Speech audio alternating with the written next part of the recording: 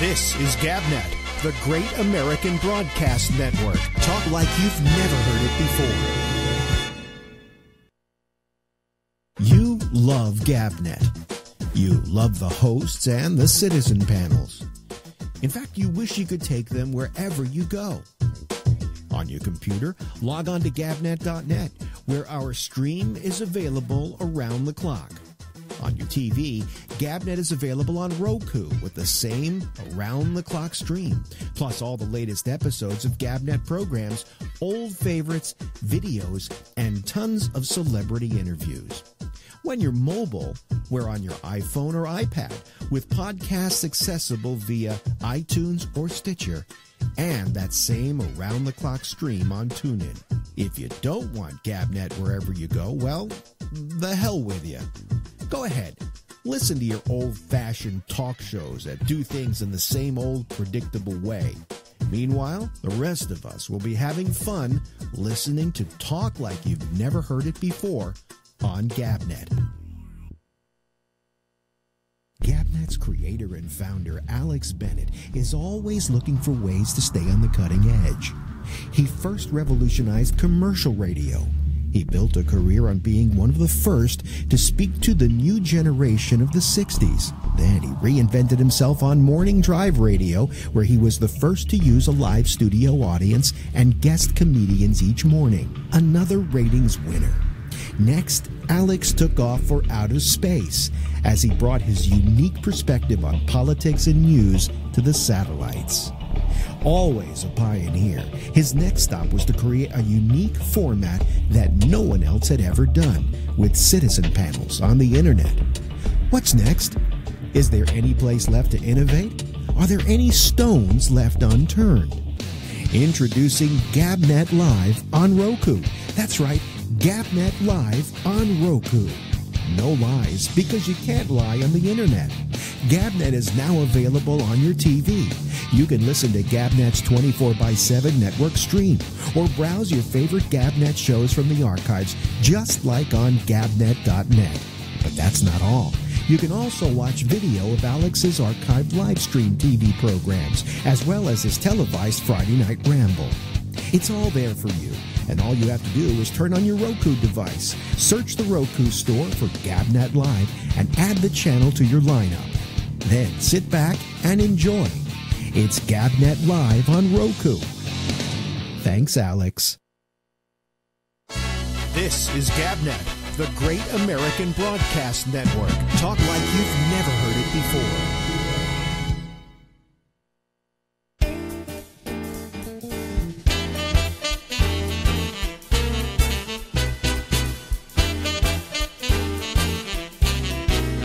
Hey everybody, it's Alex Bennett and it is the Ramble and it, we go on until midnight tonight, Eastern Daylight Time. So wherever you are in the world, accommodate for that. I know that right now, girlfriend's in China and it's 10 o'clock in the morning or 5 past 10. So hello to girlfriend and a little bit later we'll be uh, talking with her in Hong Kong. Okay, but that's a little bit later. Oh yeah, look, we have some new logos now. I've changed some of the artwork. Gee, the work I get done around here. Anyway, we got a guest. Let's go to him. Ladies and gentlemen, during the next half hour or 25 minutes, let, us hope that nobody tries to call me. I should just turn off my phone, shouldn't I, Larry Bubbles? Yeah, Brown? that might work. Huh? That might work. That Well, no- always works. Yeah. Okay. It's off now. There we go. Anyway, how you doing, Larry? Doing great, man. Now- I uh, Yeah.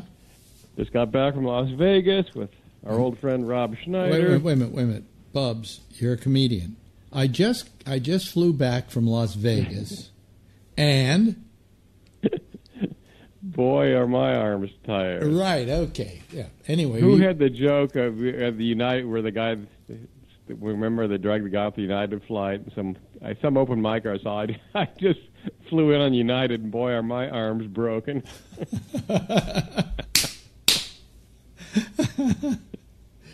I was in Vegas with Rob Schneider, who is, uh, boy, he is so. I, I knew he was well known, but he took me out to Whole Foods one day because he's a real health nut, and uh, Yeah.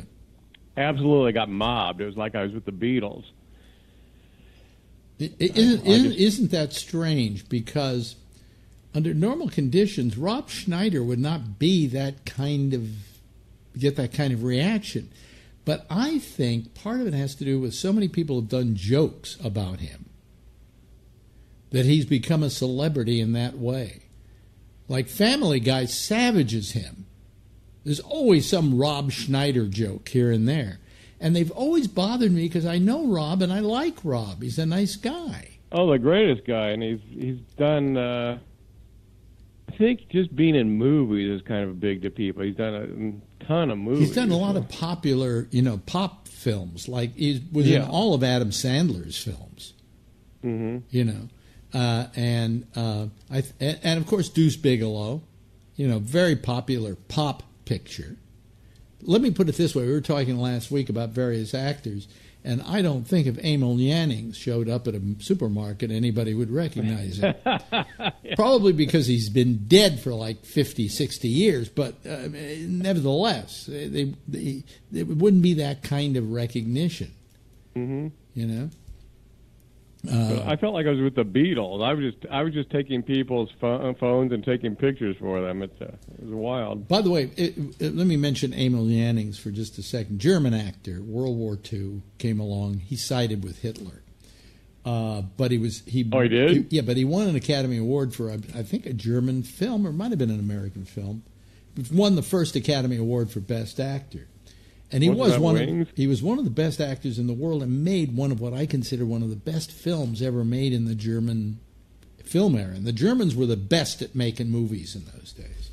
He did a film called The Last Laugh, and it's a silent film, and it's all about a about a guy who you know is the is the guy who meets you at the door at the hotel, and he's got his mm-hmm. uniform and everything, and he opens your door to your car, and he takes great pride in his job and great pride in his uniform that goes with the job. And then one thing leads to another, and they fire him, and I mean, his life goes downhill from there. And at the end, of course, it's called The Last Laugh because he gets the last laugh. But it is just, as a silent film, it doesn't even have, you know, it doesn't even have those intertitles at all. It didn't need them. The whole film is that good.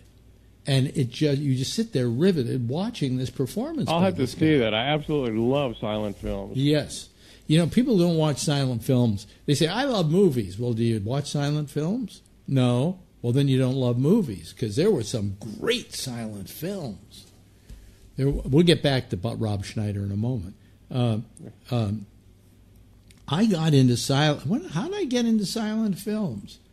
Uh, might have been through Shecky. I mean, Shecky said you ought to see this, and then I watched that, and then I started watching another, and then I, st- I started. What I started watching a lot of was Buster Keaton's silent films, which were amazing. But I know what made me love silent films. Uh, there's a guy by the name of Carl Davis, and uh, he does mu- music for silent films when they do them on the BBC or you know when Kevin Brownlow and David Gill for years were restoring silent films, and then he would do the musical score for them.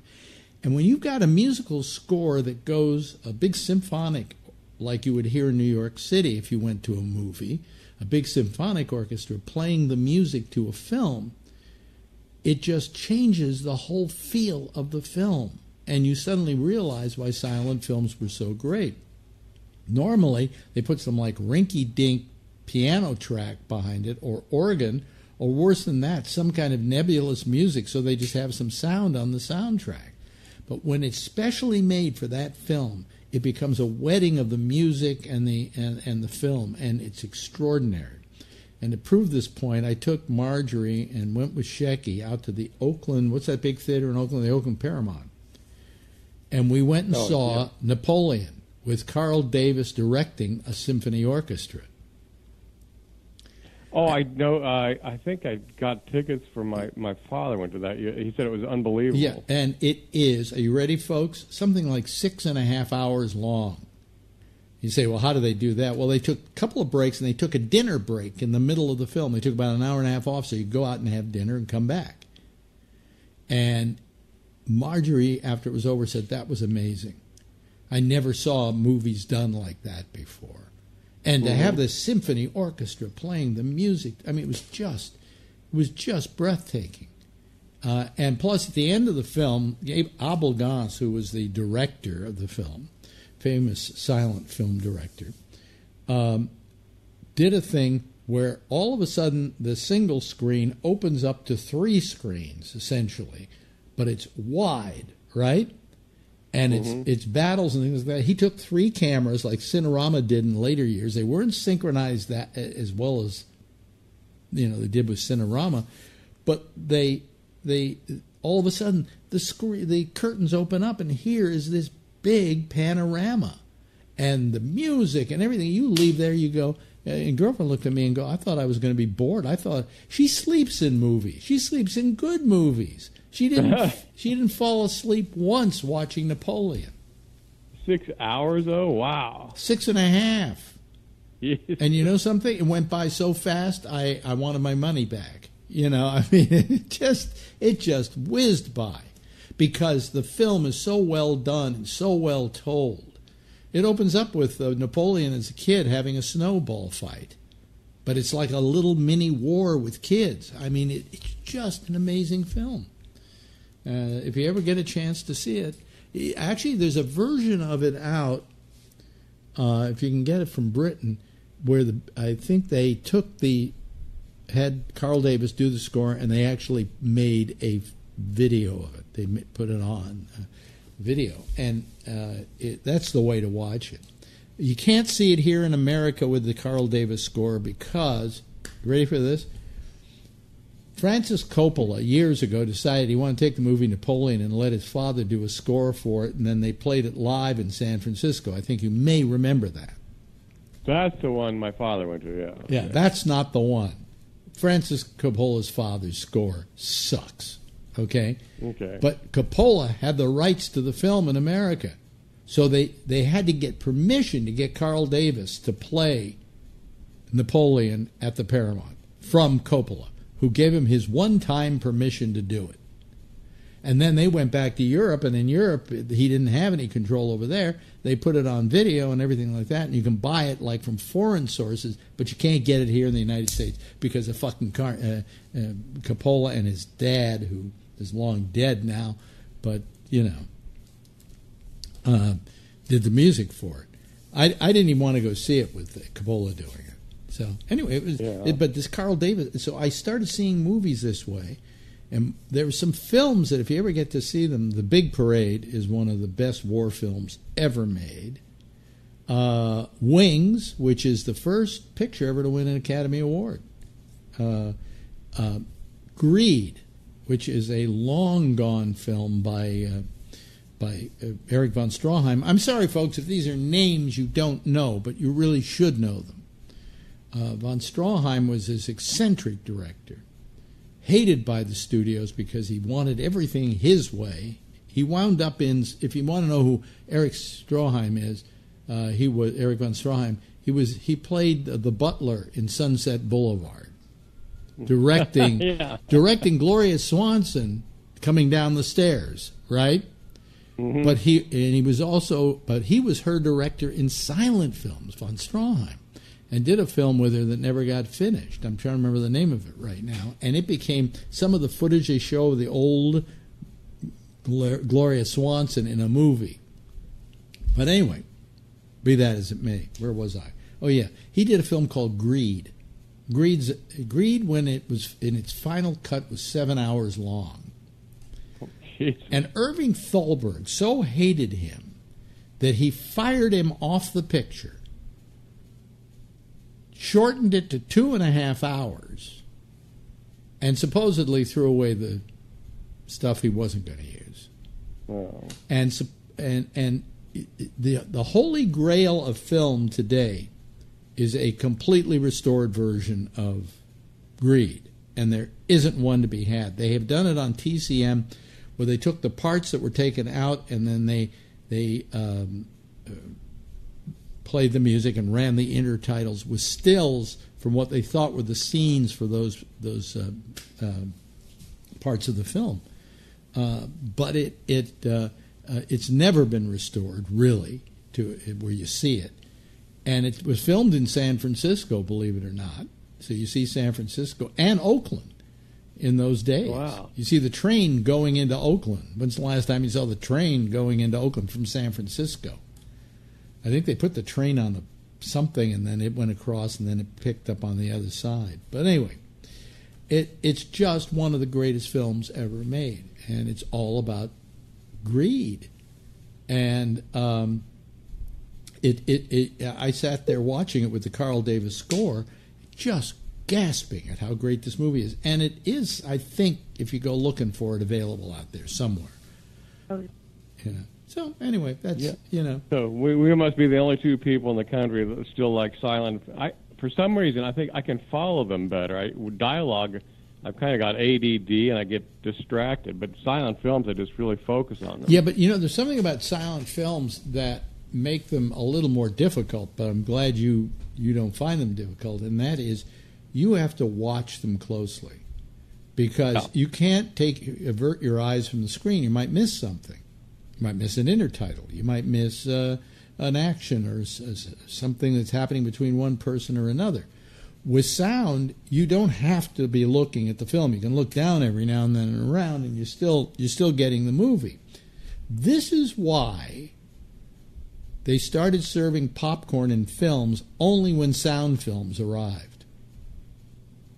Because you couldn't Really? eat you couldn't eat popcorn and watch the movie at the same time because you put your hand down to look where you're picking up the popcorn. So anything that would divert your eyes from the screen, they didn't uh, they didn't do in those theaters in those days. Pretty interesting, huh? Yeah. Yeah. So you know, uh, the, the silent films were wonderful, just wonderful. I Well, I think there's a I think there's a theater in L.A. that still shows silent films. I could be wrong, but Well, if you go to the San Francisco Silent Film Festival, uh, they will show you films in, with sound. And I saw two films, two comedies there that I, you know, um, comedies like Buster Keaton and so on. Keaton was wonderful, but I didn't realize how wonderful until I saw it with an audience. And they showed um, uh, what was the one where the house falls down? Steamboat Bill Jr. Steamboat uh, Steamboat Bill Jr. with an orchestra, okay, and an audience. Uh, See, because all these silent films, you sit at home, watch them, and if you're lucky, you might get somebody to watch it with you, you know. And with an audience, all of a sudden, you notice there were laughs in this film you never noticed before. Because the audience is starting to laugh uncontrollably over stuff, and it's stuff that when you watched it just by yourself went by, and you went, "Oh, that's nice," you know. Uh, I mean, there's one joke where he's he's in a, a store trying on hats, and he goes, "No, no, no," and then he puts on a hat that was the, the typical hat that you know the crushed hat that uh, that, that Buster Keaton wears, and he looks at it and goes, "Oh no," and throws it away. You know, so I mean, it, it, it, there was just something about silent films. I saw um, uh, oh, what's her name? Oh God, the sexiest woman in film. I'm trying to remember her name now. Um, it, Clara Bow. It with Clara Bow. Watched it with an audience and an orchestra. What a great film! Mm-hmm. What a just a great comedic performance by this woman. And by the way, one of the sexiest ever on screen. She, in fact, was the biggest star in the world. And at 24, couldn't get a job. you know, it was what happened? What happened was she sound came in, and it wasn't that sound ruined her because she kind of had this little Brooklyn cute accent. You know, it was okay. But she was so afraid of the microphone. At one point, she was known to when they stopped filming to go to the, the microphone was hanging right over her head, stand up and start hitting it till her hand bled. Jesus. I mean, she hated sound and sound, uh, and then they, they she so she became a real drama queen, and the studios didn't want anything to do with that. So she um, she left film for a while, and then she came back and did some sound films. Her last couple of sound films were great, great films. But she finally just went to the desert with her husband Rex Bell. Why do I remember all these names and I can't remember other names? You're fond of knowledge. Reg, Rex Bell and went and lived in the desert for the rest of her life. I think I, maybe outside of Vegas and or maybe it was in Arizona. and her husband Rex Bell became a politician. He he had been a movie actor, and uh, then she died in relative obscurity uh, in, um, in in in Los Angeles. She had moved back to L.A. and lived in one of those little homes, you know, uh, and uh, she died uh, watching a film with Gary Cooper, who was one of her lovers in real life, and Victor Fleming, who was another one of her lovers in real life. Uh, and uh, it, you know, it's it, it, there's a documentary done by uh, Kurt Cobain's wife. What's her name? Um, see, Um, Yeah, well, anyway, uh, it was done by uh, Hugh Hefner. He paid for a lot of documentaries about women in film, and he did the one on Clara Bow. And I remember at the end of it, and I still watch it every now and then. I start crying. really? Yeah, I mean, the woman was the biggest star in the world, washed up at 24. 24. Wow. You know, and and by the way, she didn't mind that because she didn't Hollywood didn't like her because she was just a kid from Brooklyn with this Brooklyn accent, you know, and she liked to stay at home and hang out with friends and not go to the big Hollywood parties. You know, Clara Bow, if you ever get to see her, folks, sexiest woman ever to grace a screen. Uh, cute, beguiling, whatever. Anyway, let's get back to you now. And uh, we started with Rob Schneider and wound up with Clara Bow. That's how So conversation. yeah, that was a good Have uh, I loop there. have I been talking too much? I mean, I'm supposed to be interviewing you. no, you're uh, you're fascinating. I love to listen to this. Well, I call you up because I I want to uh, you know uh, talk about stuff, and you you talk well with me. And I, if you were here, you'd be a co-host of the show every night. You know. Well, you know so much about movies. It's incredible. Yeah. So, But anyway, well, I'm forgetting a but lot. like of- yeah, Keaton though, you're saying Keaton was um, that's really great humor because it. I mean, it holds up today. Well, he was his his humor and his comedy was smart. Universal. Yeah, and it was smart. Uh, also, I mean, it, there were smart acts and there were stupid acts. I never liked the Three Stooges. Couldn't stand the Three Stooges. Do you like the Three Stooges? I, you know, I, when I see, I, if I don't see them for about five years, I'll laugh hysterically for about five minutes, and then it really starts to wear on me. Yeah. Uh, Yeah. But I loved Laurel and Hardy, and Laurel and Hardy were smart. The best. And you know what Lenny Bruce said about Laurel and Hardy, and it, it was quite a revelation for me. He said that he liked Laurel and Hardy because they were the only duo act, comedy duo act that didn't act in a homosexual manner.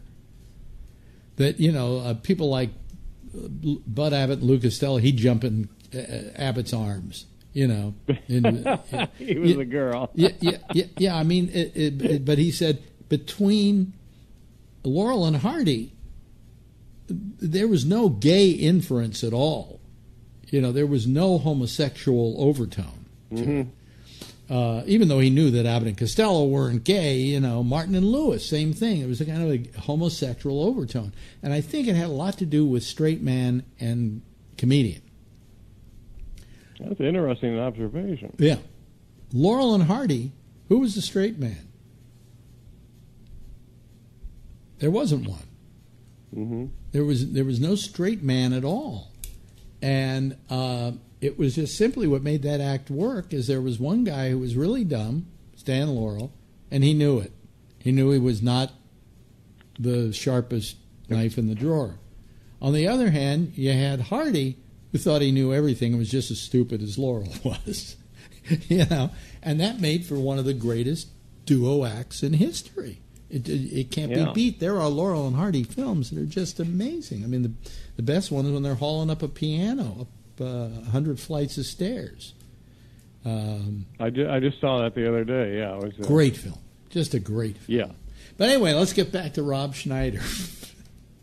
so, you, so so Schneider's mob. He uh, he's one, he's like Robin. He just when he people come out, he's just so nice. Takes pictures, very friendly with everybody, and that's uh, that's great. he is, you know, of all the guys that I know, you know, he's one of the ones who still every now and then stays in contact. You know, Yeah, he loves you. So Yeah, Good and, guy. and in fact, I got to get your number from him because I got I got to call him again and get him on the show to do it because uh, I, want to do a. He has a he has a Skype camera, so we can actually visually visually talk to him. But Mhm. but anyway, um, so you were in Vegas, and what were you there for? Uh, he was just working a couple of nights and had me open for him, so uh, that was fun. And then uh, getting ready to leave Monday, and he called me and he said, "Meet me at the last minutes. We just got invited to the Jerry Lewis Memorial." Oh, I see. Okay. So I said, "Can't miss this." So we ran over there, and uh, a memorial for Jerry Lewis on Labor Day, which was his big day. So Yeah. And you know, it's a Vegas memorial. Uh, We walk in, the first person I see in a suit is Carrot Top. it was hosted by Tony Orlando, who looked like he weighed about 400 pounds, but did a good job. And uh, But They you just would, but- but you would think that if in Vegas you were holding a comedy uh, tribute to, you know, Jerry Lewis, a memorial to Jerry yes, Lewis. with uh, with cocktail waitresses that were if- half if- nude. It was if- a classic Vegas memorial. it, it, well, that's not bad, okay, because at least he did Vegas, and it's Vegas, okay. yeah. But Tony Orlando hosting it, Tony Orlando hosted. you were expecting the biggies, weren't you? We didn't get the biggies. We got uh, Dane Cook came up. Oh God, Uh, he's washed up already. Go ahead. Uh, who else? You know, Pat Cooper was there. Well, Pat Cooper could Somebody be. Pat Cooper tried to be. introduce me to him, and the middle of the introduction, Pat just stops and goes into a joke, like he's performing, like he's on well, on stage. So he's an old guy. That's what they do. Uh, but he, uh, Pat Cooper, really very funny guy. It's funny, yeah, but out of his mind, I think, right? Yeah, yeah, crazy. So who else was there? The- Who you've- else was there? suddenly- Uh, I got so depre- they started showing the uh, videos from the '76 telethon, and I I actually remembered watching that. I got really sad, and I had to leave for a, a little while, so why were you sad? I missed some of the speakers. Why were you sad? And it just reminded me, God, I watched that when it happened, and now like 40 years have gone by, and I and now Jerry's dead. It just got me very depressed. So, you know, this passage of time really gets to me. Yeah, yeah, it's too bad. It's too bad. Well, you know, I mean, come on, Jerry Lewis, eighty-one. What was he? Eighty-one. 91. 91, excuse me, 91. Uh, you know, good good life, you know. And then when I was watching this, I that's what I thought about you. I just wondered, God, I wonder if Alex had ever interviewed Jerry Lewis. Never, asked interviewed him that. in my life, but he sang You'll Never Walk Alone to me on the telethon. Oh, because he was mad. Yeah, that's right. He was mad at you. Yeah, yeah. Yeah, because he had heard that a disc jockey in, San, in New York had said uh, uh, that he was. I, I didn't think he was a very good comic anymore, uh, or very good performer anymore. And he said, "I hope this is good enough for that disc jockey." And then he went and sang "You'll Never Walk Alone," and I'm looking at people around the room going, "That son of a bitch is singing "You Never Walk Alone" to me." um, but uh, um, you know, I mean, I um, I, I love. Listen, I, I talked about him quickly, and then I, then we got to go here. But that I always I, I grew up loving Jerry Lewis. He was my favorite. In fact, uh, the first name I ever used was Jerry Bennett. You know, using Jerry, oh, that's cool. That's cool. invoking his name. Uh, Alex came about because of my father's name. But you know, I mean, uh, I thought he was terrific, and then I said, as you grow up, you mature out of Jerry Lewis. Okay, you know. Yeah, 'cause I loved him as a kid, and I look at some of the stuff I look at now. My God, that was awful. But Yeah, yeah. Um, you know, and and I talked about the time that he saved my life. I went to see a Jerry Lewis movie when I wanted to commit suicide once, just to Yeah, have something right, to do. yeah. And and and I and I learned the the healing properties of comedy by by going to that film and realizing that I was about ready to kill myself, and I'm laughing at this guy. And I said, that's what I want to do all my life. I want to Mm-hmm. make people laugh. You know, that's the best medicine you can give. Hey, listen, we've run out of time, Lawrence. it flew by. And I, I- love I us talking couldn't- about the movie. I couldn't do all this yesterday because I was sick, and today I'm Well, you, you still. bounced back. I'm not 100, percent but uh, you know, talking with you, I feel like going out and I, I don't know. We'll go out and see an Emil Jen- Jennings movie. Let's do an Emily. when you if you ever come to New York, I have the last laugh here. We'll watch it. Okay. I'd love that. Ladies and gentlemen, the lovely and adorable Larry Bubbles Brown. Thanks, Larry. Thanks for having me, man. This is GabNet, the great American broadcast network. Talk like you've never heard it before. Hey, everybody, how are you? I'm Alex Bennett, and we're here and we're ready to go with the ramble. Uh, but before we do, I'm going to do something a little uh, extra tonight. Um, as you know, my dear wife, or as we refer to her as girlfriend, is in uh, Hong Kong. So she uh, FaceTimed me tonight, and I decided I would share it with you. It's a little out of sync, as most things are on the internet, but uh, let's uh, let's check in and uh, go to Hong Kong and talk to her for a couple of minutes. Direct from Hong Kong, ladies and gentlemen. she just washed her hair, so that's the reason it looks like that. Don't worry, you, you, there's nothing you can be able to do with it till it dries out. That's the It's horribleness of of, of uh, having Curly hair. Curly hair, yeah. But anyway, there, there she is. She's in Hong Kong, but you have no idea she's in Hong Kong. Is there any way you can prove to us you're in Hong Kong? Um, should I do a little view of the of what's behind me? Hold on a minute. Yeah, do it, do it. I have to turn this around. This is looking out of the dining room. Yeah.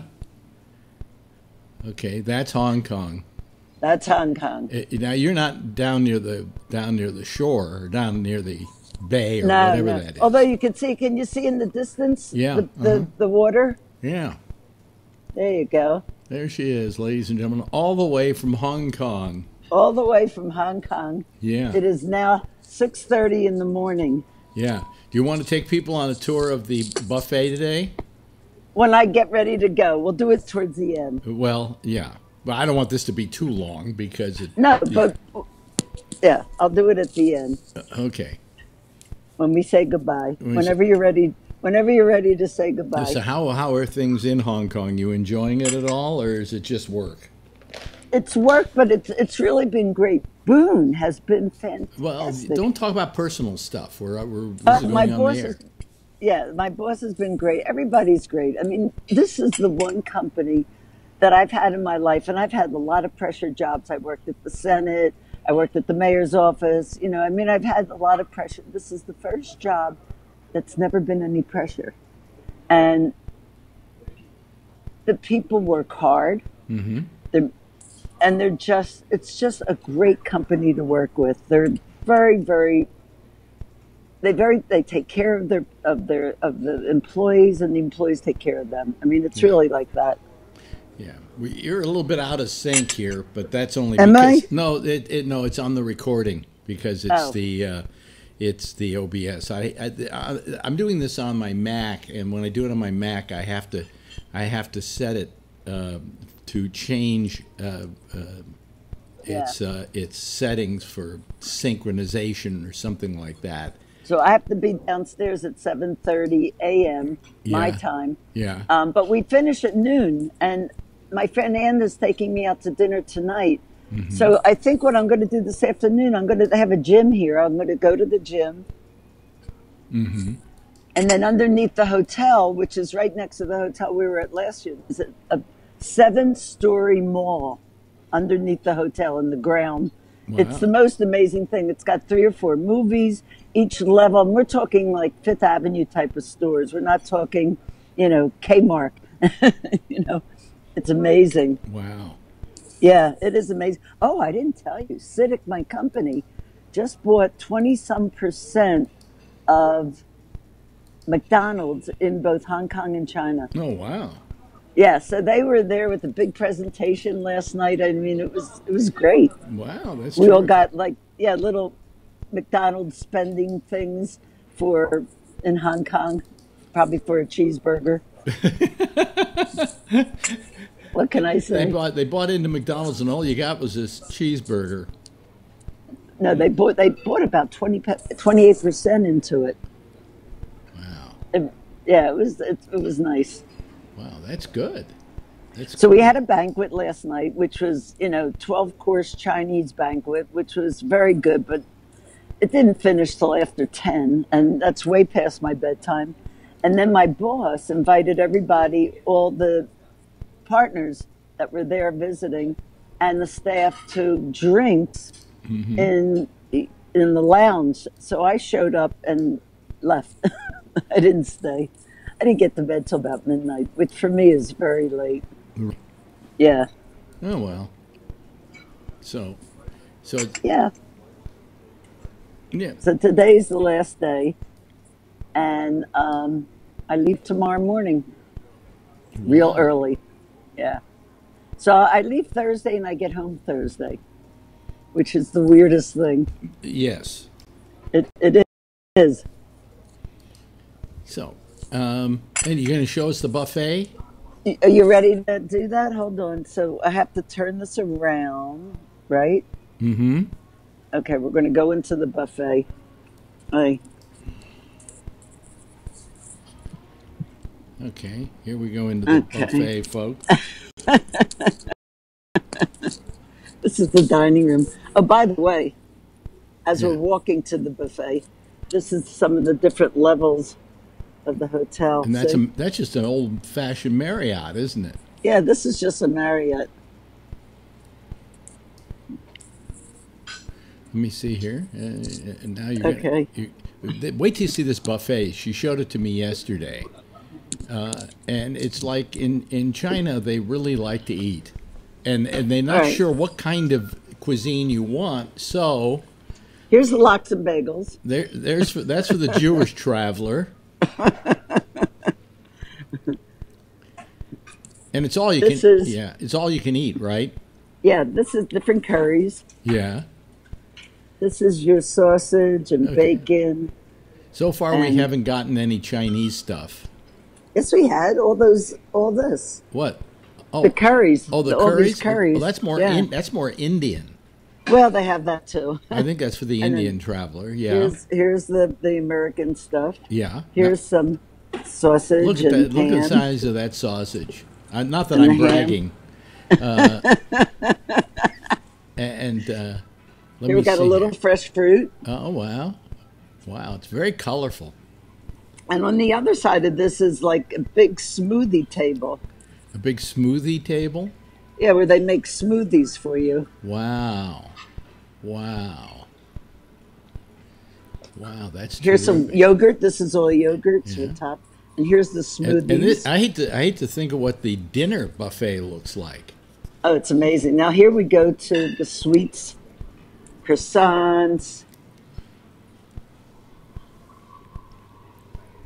See this? Yeah, And now we go to like eggs and breakfast food. yeah, This is where they make all the eggs for you. And they bring it over to the table right here. yeah, See? yeah. Yep, yep, yep. Yep. They make omelets. And then here is noodles. Mm-hmm. And this is all dumplings. Yeah, that's the Chinese stuff. Ooh, Yeah, breakfast dumplings. dump, breakfast dumplings. Yeah, And this is, um, you know, oatmeal, different hot hot cereals. yeah. And here's some spring rolls and dump more Man, dumplings. it just doesn't stop. Oh, and then here, this is miso soup. A lot of people eat soup for breakfast. Yeah. So this is all the soup that you can have. Wow. And here's all the there's all the noodles that go into the soup. The different types, you know, the Yeah. all different types of noodles. And then here's some greens. and that's about it. Okay. All right, turn, sweetie. turn, turn, wait a minute, turn the camera towards you oh. now. Turn it around so we can see your face as you're walking. Yeah, you can start walking. You can start walking. I'm gonna go get my breakfast. Yeah. But uh, Alrighty. Well, uh, it's uh, it's it's actually Wednesday. She's living in the future there. I'm in the future, talking to the past. Yeah. And um, uh, stick around after I'm through stopping the recording. But uh, say goodbye from Hong Kong. That's Bye from Hong Kong, and I'll see you all Friday night. Yeah, or Friday night, That's- Thursday night. No, but I'll be on your show Friday night. Oh, night. Friday night. Oh, yeah. Okay. Friday yes. night, Right. yeah. Right. Take care, everyone. Wait a minute. Did your people Call talk to? Did your people talk to my people? No, but I'm sure they will by the time I get home. Oh, okay. I'll send an email. that's uh, girlfriend reporting live from the buffet in Hong Kong. live. All right. There we go. Go live, and uh, we should be um, we should be there soon. Let me uh, let me see here. What's happening? Oh boy, that's that's not nice. Okay, there we go. Okay, all right, we're going out. All right, and it looks like we're not spinning around, and you know people can now see us. And uh, let me just go back here, and let me open up the lines now, so that we can talk to people. By the way, you know we have some new we have some new. Um, uh, let me open this up here. Um, we have some new uh, graphics, as you saw. Uh, I did this one. This is the new Ramble graphic, and this is the new um, uh, Gabnet graphic, which I really like. This one, that one I like. I'm I'm real happy with that. That's nice and clean, and you know works well. And uh, anyway, let me see here. Uh, let me go back here. Okay. Here comes Mike, as usual. It sounded Um, like it sounded sounded like she had a wonderful trip. what? It sounds like she had a wonderful trip. Oh, no, she's not.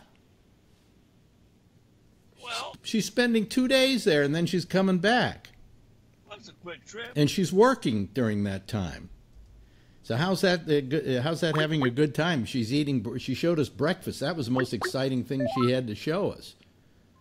You know, so uh, uh, that's an example of whatever. But anyway, uh, to all you people out there, uh, I think you can. Yeah, we're now going out okay. We seem to have no problems with our with our whatever. So, um, hello, uh, Brian. Uh, We can hardly see you, Brian. You're all in the dark. Brian. Yeah, um, Yeah. it's a it's a long night tonight. It's a long night tonight. Why is that? Oh yeah, Why is it because? I'm still on the clock. I'm not. Oh, because you're still on the clock. I'm the still clock. on the clock, and I won't be off. Yeah, probably until close to uh, like twelve thirty or so. Yeah.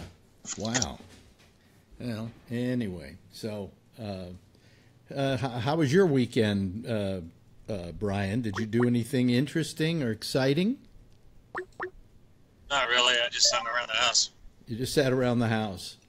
Okay, that's all. That's all I did this weekend. I just sat around the house too. It's it, it's it, in a way I miss girlfriend when she's not here, but the part I don't miss is that after the show's over, I don't have to ban banish myself to the guest room to watch TV and stuff. I can just go in the bedroom and watch it. You know, so it's a much nicer situation. And you, Phil, how did your uh, little wedding go that you were doing the photography for? very nice. I stayed at the Mark Hopkins two nights. Uh, it was ki it was like a mini vacation uh, with friends and celebration. Uh, uh, I put together the uh, the album. Uh, Yeah. I was doing some editing and uh, over the weekend. Yeah, and uh, did your did your girlfriend go with you? Yes, she did. Yeah, so it was a, kind of like a nice little time for both of you. Exactly. Had a nice room and uh, uh, you know really enjoyed it. Uh, the wedding was at the top of the Mark. Yeah. And, uh, you know, they had a, a, a section and uh, got some good shots. Uh, I the ceremony was at the um, city hall, and you know, there's like 30 weddings a day that go on there.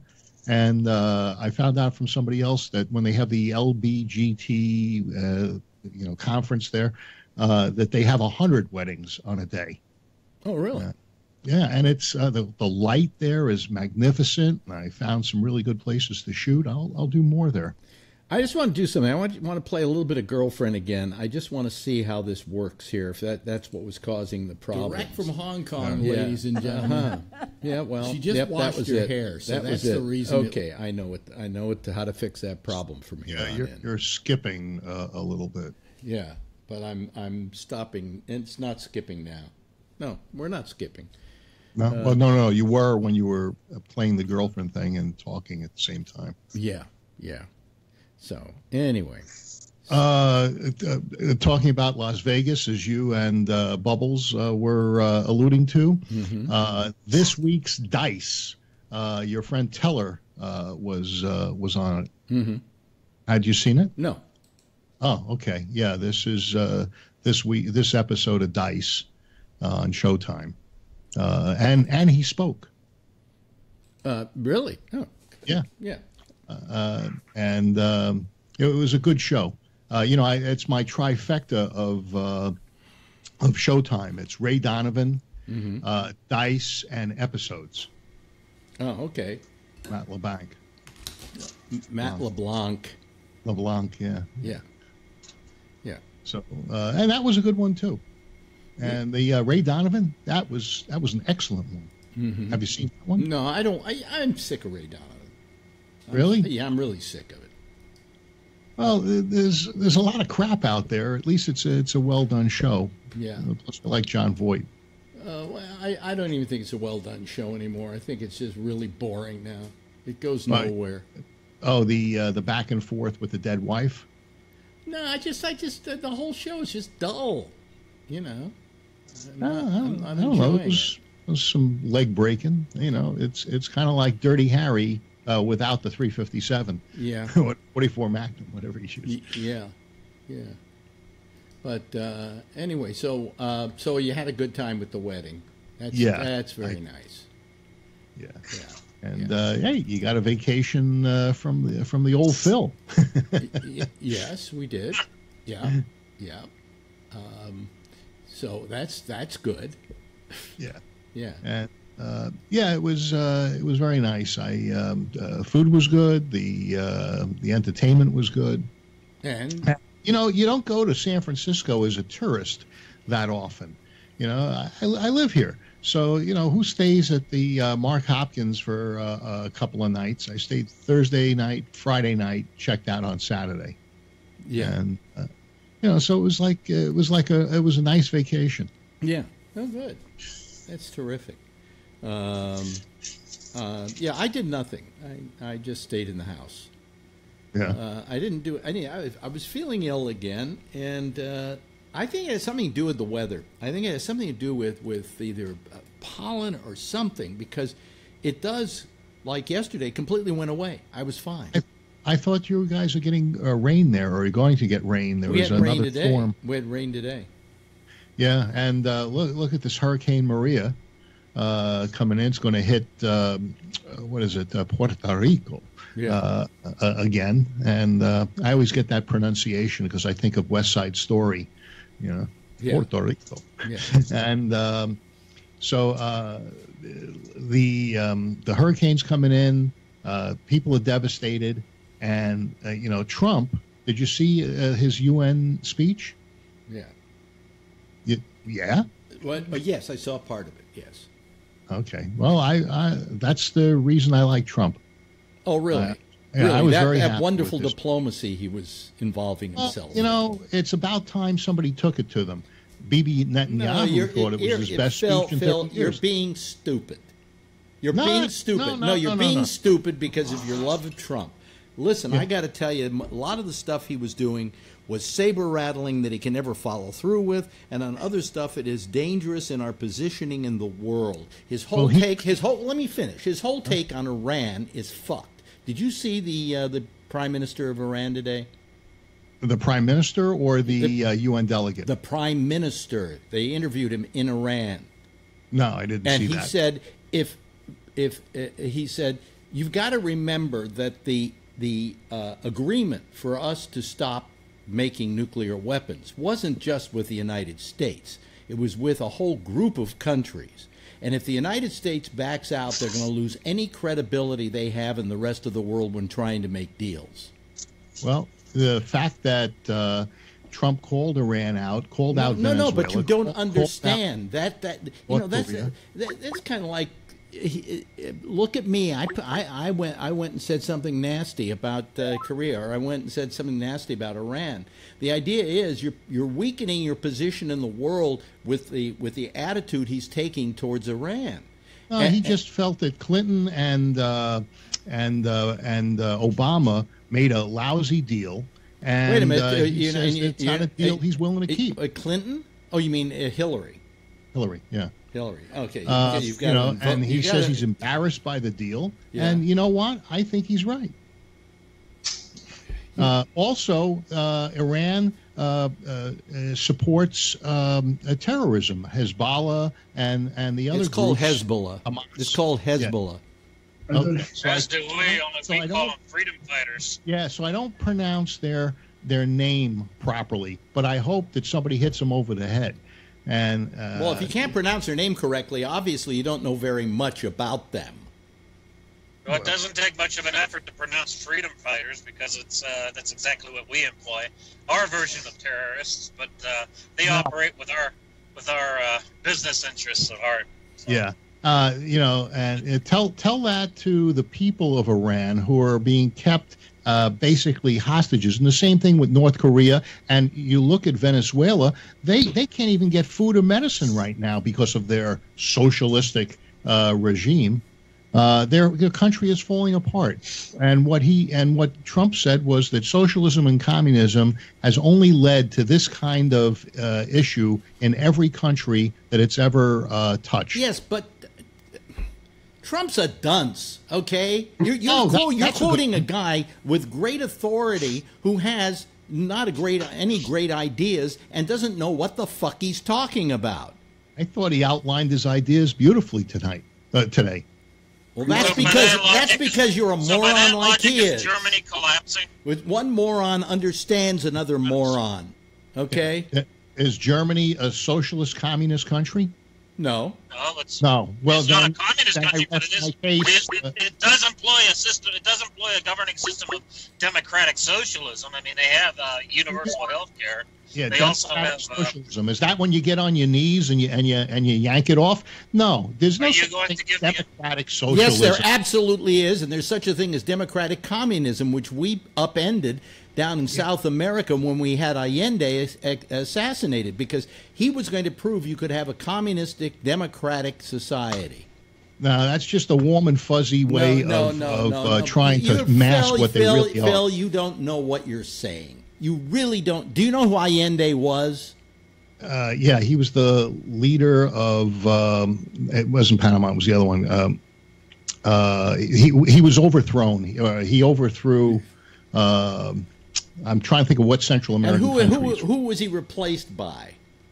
uh, the guy from Panama, the strongman. No, uh, no, you, you don't know shit, Phil. You don't know the guy who shit. just died. No, no. That's It's a, you've No. got that. You've got Panama mixed up with uh, Chile.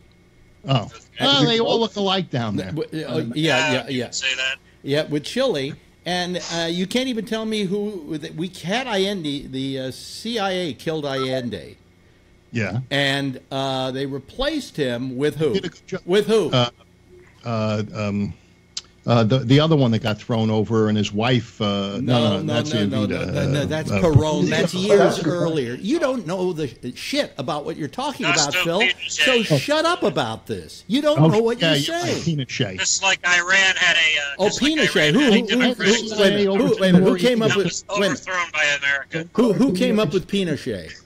Placed Uh, by the yeah. Who- uh, uh, uh, what's his Uh, name? Uh, um, You- um, you can't even get his name right. yeah, Brian. Brian. Brian. Yeah. Yeah. So we, Uh, we replaced he him with Pinochet, CIA who was one of the biggest killers, one of the biggest human rights violators of all time.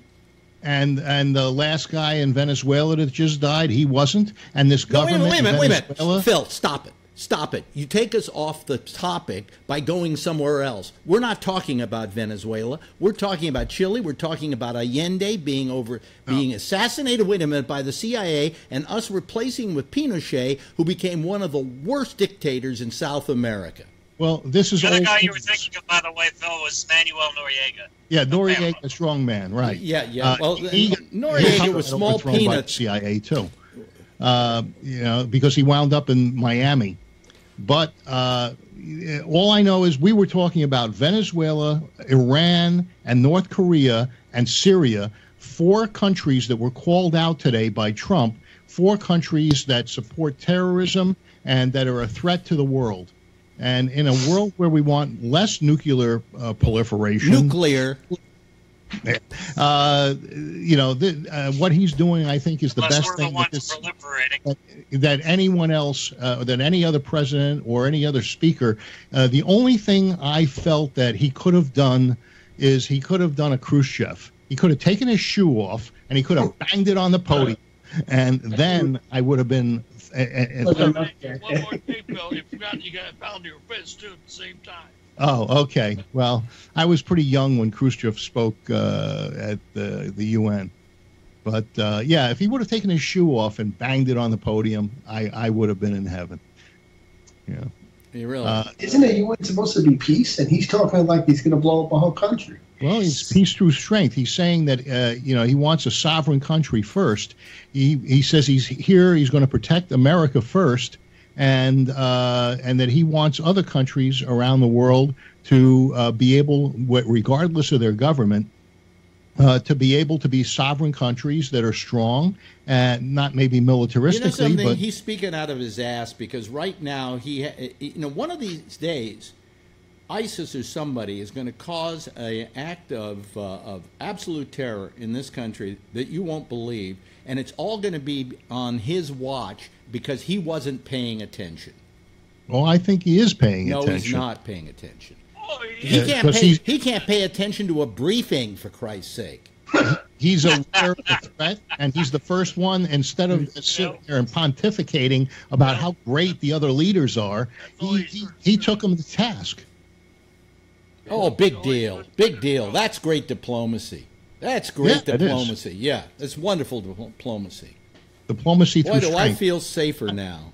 It's kind of the way Putin does it. hmm Yeah. He likes Putin. Yeah. He likes Putin. Well, Why'd I'm- you live over there, Bill? Where'd you go? to Hey, Russia? I'm happy here. It's it's all you all you Well, guys you- that want socialism you be an that's over when there. go to Russia, to sit there, stomp your feet, and do everything else. Once you just moved to fucking Russia, then.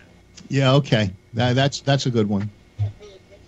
hmm Anyway, uh, you know, I'm, So so does that mean that you didn't like his speech there?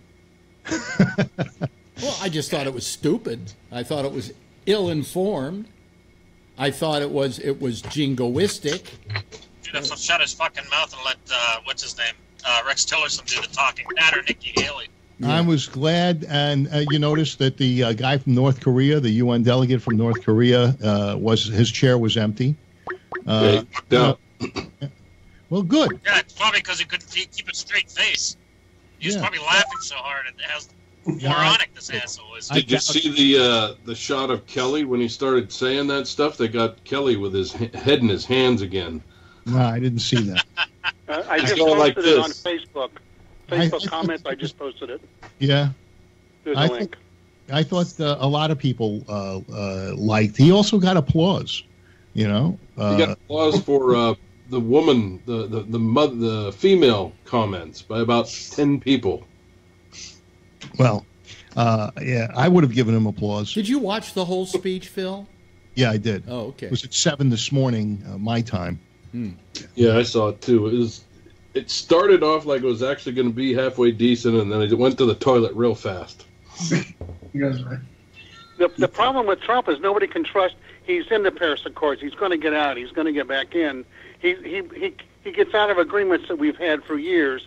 He says he's going to get out. Doesn't want to get. The guy can't make any kind of decision. Hey. It's unreliable.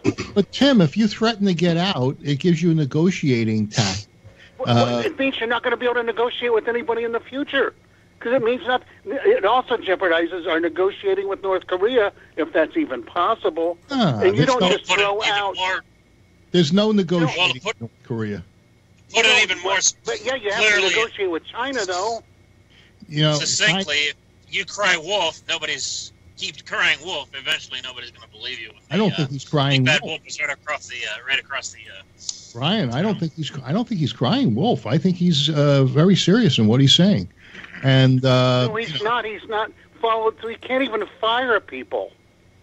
uh, he's good at that. He does no, like he's not. People leave because they know they have to get out of there. But Then they The only he's person fired. he's fired is Comey. And what about Scaramucci? Uh, he got. Well, they, Scaramucci Uh, was on his way out. His wife wanted him back. So what about you go. Flynn? Uh, Hey, Flynn. Flynn's in deep, deep crap. Well, along who with uh, fired? He got fired. Man- Mr. Manafort. Manafort, yeah. He fired him too. You know, He But he also to. hired him. He's, why would he hire somebody that's an expert in, in Ukrainian Russian politics? It doesn't Uh, make it. The guy's being uh, is under FBI invest, investigation for 11 years. He's a money launderer. well, yeah, know, He's a Hello. con man. why yeah. would you? Wait a minute. Wait a minute. Somebody just joined us. doesn't? Who who just joined us? Is this Alex Bennett? Yes, it is. Yes, it is. Hello, is this the world famous Alex Bennett, Yes. distinguished journalist? Who is this? Can you get to the point? Uh, it's Al Goldstein calling from where I am now. And you know how hot it is down here, don't you? Okay. See you later. you know, Yeah. I, I don't know what that is. You know. It's Thursday night's guest, isn't it? What do you mean Thursday night's Who the guest? fuck was that cock? Oh yeah, it was uh, an unknown number. I, maybe he was right. Uh, is that your um, uh, uh, Penn Jillette? Hmm? No. No, it doesn't sound like him. No. Alex, are you running teasers for us now? No. Oh, I activated no, that. no. Have an easy, easy password. Anyway. Uh, so, um, um, I, you know, I mean, it's it's ridiculous. Anyway. Yeah, here's who we're going to have on tomorrow night. So in case I people want to know. So I just thought I'd throw that in there because I'm trying to make sure it works okay. All right. Anyway. Uh, I, you know, Oh. this whole whole process here every night is like, you know, patting your head and rubbing your stomach. I'm having to keep the technology going and figure out what's what the problems are, and at the same time uh, uh, do a show. So, uh, anyway, Tim, need- what what what were you Go going to say, Tim? Um, you need five or six interns. What do you- Work for free. They can learn the, the they're going to pass on, you know, because Axios is having a big convention. Well, I don't believe. I don't believe uh, interns are a terrible, terrible thing to do. If you, if you're going to have people working with you, you should pay them. Okay, and if you can't afford to pay them, then you don't have them. You know. I know, but you're paying them in free training. No, so I. That's bullshit. That's bullshit. You know, You know- I, I, it is a way in which uh, operations for a long time have have gotten away with uh, free labor. It doesn't really uh, transmit itself into being any kind of job or uh, the ability to get a job somewhere. I find internships horrible unless they're paid internships. yeah, they should be paid. You're, you are correct. What about if they leads to a job though? Like they guarantee him a job. Would No, that but they, you can't guarantee anybody a job. Oh, they can't. Uh, what? So you're going to be? But so you, you, if you have an agreement, a sign an agreement with a community college or university, they have grant money. They can pay the interns a certain amount and give them credit. Well, for class I've at never, the I've had. I, we've had interns, and I've, we've, ne- I've never known of them getting paid for it. It's tough to get an intern at ten o'clock at night. Also, you know, four nights a week. Yeah. Uh, eh, you know, to, to come to Harlem. You know that that's that's not going to be an Well, easy. but they don't have to be there. They can do it remotely too. Uh, not, no. This this is 2017, Phil. Yeah, but You, you don't have to is- be there to work for them. Yeah, uh, But anyway, that's just just yeah, that's off off topic. So. you almost have to But look at them to communicate what to do. Yeah. Well, uh, don't, and don't don't start writing me letters saying I'll be an intern for you. No, I don't want. I don't want. sorry. I don't want any interns. Okay. All right. Okay. How about Mexico? anyway. Huh? How about Mexico? 105 dead. Really? Yeah. It's had, it's had another earthquake today. Yeah, yeah, 105 today. How many people were dead from Hurricane Harvey? Uh, 57 or something? That's it. Well, that's Yeah, good. and Red Cross is getting their ass reamed for not bringing any money to them too. But yeah, what are they? What is their excuse for that? I heard They a don't tease- have one. They I- just said that their uh, website crashed from so many people trying to apply. Uh, and there was somebody else that said that food and blankets were being thrown away uh, that were given for Hurricane Harvey, and instead of taking them and, and using them in Florida, uh, they're um, uh, they're they're throwing them, they're, they're disposing of them. Well, I would have to hear the reasoning behind that. It might be that the expense of moving them somewhere else is not is is more expensive than just buying new blankets and giving them to the people in Florida. That's a possibility. Yeah. You know, but it was uh, just somebody's post that I uh, that I saw. They had pictures of the oh food. yeah, and uh, they, yeah. were yeah, those posts are reliable as, as hell. Yeah. Uh, there, there's another It's the problem internet. with the- Everything on the- the internet is true. It is. It's true. Yeah. They are having a problem with with the water supply because once they turn the water supply on, the sewer systems are messed up pretty. They're big time. That's going to be a big expense Yeah. to fix the sewer system. So they can only run water in some cities for certain hours a day. So it's, it's a mess in some of the areas. Well, I made reservations today. I'm going to support the people in Key Largo by going there and uh, uh, spending uh, spending money and uh, uh, giving them tourism. Oh, in other words, you're going scuba diving again. Yeah, he's going scuba. Yeah, don't don't, don't sound like you're doing a wonderful thing, okay? Hurricane diving. Roundabout, it's your roundabout way of saying he ain't gonna do shit. He ain't going to do shit. He's just going to go Oh, no, down no, there. no. Actually, uh, uh, I, I have a Sign, and that's it. I have a Facebook friend that lives in uh, in Key Largo. He's the uh, head of. Um, uh, he publishes the Alert Diver magazine. Uh, Stephen Frink. He's an underwater photographer, and uh, so I. Well, you're uh, alert wrote- until you get the bends, but go ahead anyway. Yeah, well, I wrote that I uh, I was going to come in November and, and and dive there. uh, You know, because hey, I could have went to Mexico. Uh, you know, which wasn't affected by the storm. I storm. could have gone to Mexico. gone. Yeah, I went. Key Largo came Uh, out. Yeah, so Key Largo got hit pretty hard.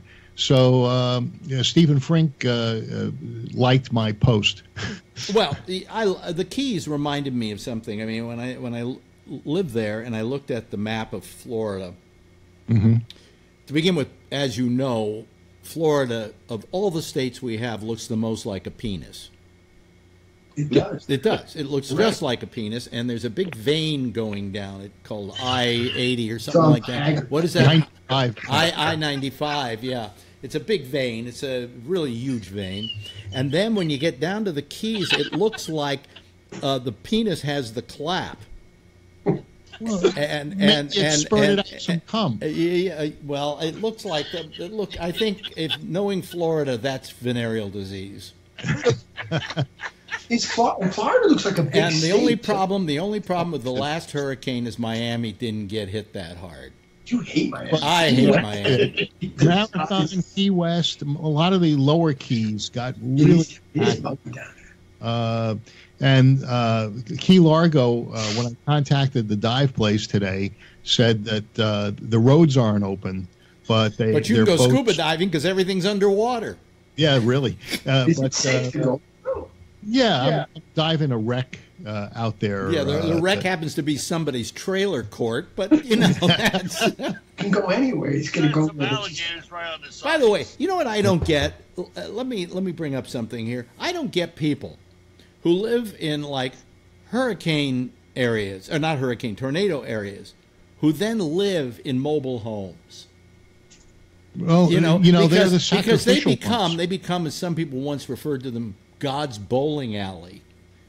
You need that. It's a magnet. When the when the hur- when the tornado comes, it hits the mobile home park, and all the other brick and mortar homes are spared. Th- Uh, well, don't these people realize that if you're living in a house where the only thing anchoring you to the ground is a garden hose, you know you're in bad shape when a tornado hits.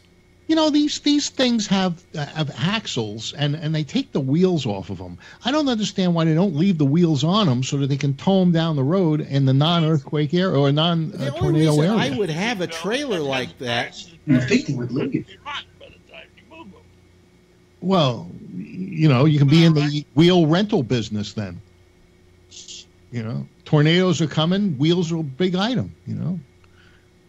Yeah. The axles are there, all they got to do is stick the wheels on. Yeah, yeah. So anyway, Yeah. Uh, Oh. So uh, uh, um, where are we in in this whole uh, thing? Well, here? uh, yeah, I guess Mexico City. Mexico It's- City. Let's scuba diving. Is it 35 years almost to the day or to the day that Mexico City had that last major earthquake? 30, 30 Yeah, years, I 32. Is it 32? 32. Okay. and uh, uh, and and their building codes, even though the government They haven't said, gotten any better. no, they haven't. You know, when you lived in the marina, uh, there was a lot of there were a lot of homes that had garages underneath them, and then the apartments were on the first floor and above. Yeah. and those garages didn't really lend themselves to the support that they needed during the Yeah, I'm earthquake. trying to use a credit card to uh, get through this. How do I how do I use it? I, Oh, wait a minute. Let's watch Brian trying to get through a toll gate with a credit card. Just run it, Brian. It just, Run it. Yeah, yeah, just gun it. Gun it. No. Tell him you catch him later. Tell him you. Be- become a felon. Uh, How come they don't have fast track there? like I don't know in why they don't realize he's a terrorist who just cut a heart out of somebody. Yeah. yeah, it might have been the toll taker. Probably the border. They're going to search him now. Wait a minute. Let, let's watch this happening here. This He's is- not an American. Stay back off in the Hold on a Shut second. up, Phil. Stop him at the border. Check his turban. Come on, Yeah. there we go. There we go. He's. Look, what's happening here? Let's. Uh, he's he's flip, flipping him double or nothing. Yeah. What is it, Brian? They won't take credit cards?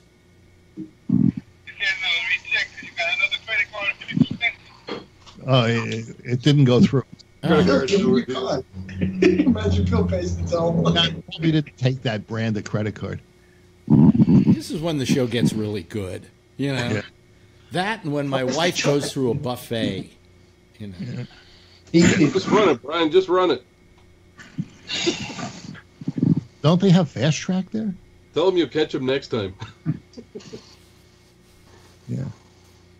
yeah. I finally figured out what went wrong earlier. I've got to whenever I uh, uh, tape somebody ahead of time or do an interview ahead of time, I have to redo it to bring the rate down, the, so that it doesn't use up as much bandwidth. That's what the problem was, and hers was uh, was rather large. So I'm, I well, just that's ridiculous because I know I have a balance. In there. I, I No, it's a different one. That's what she said. Put yeah, put it in. Oh, for fuck's Christ. oh good okay we're- Hey, we're on give our him a way. tip. Y- Yeah, yeah.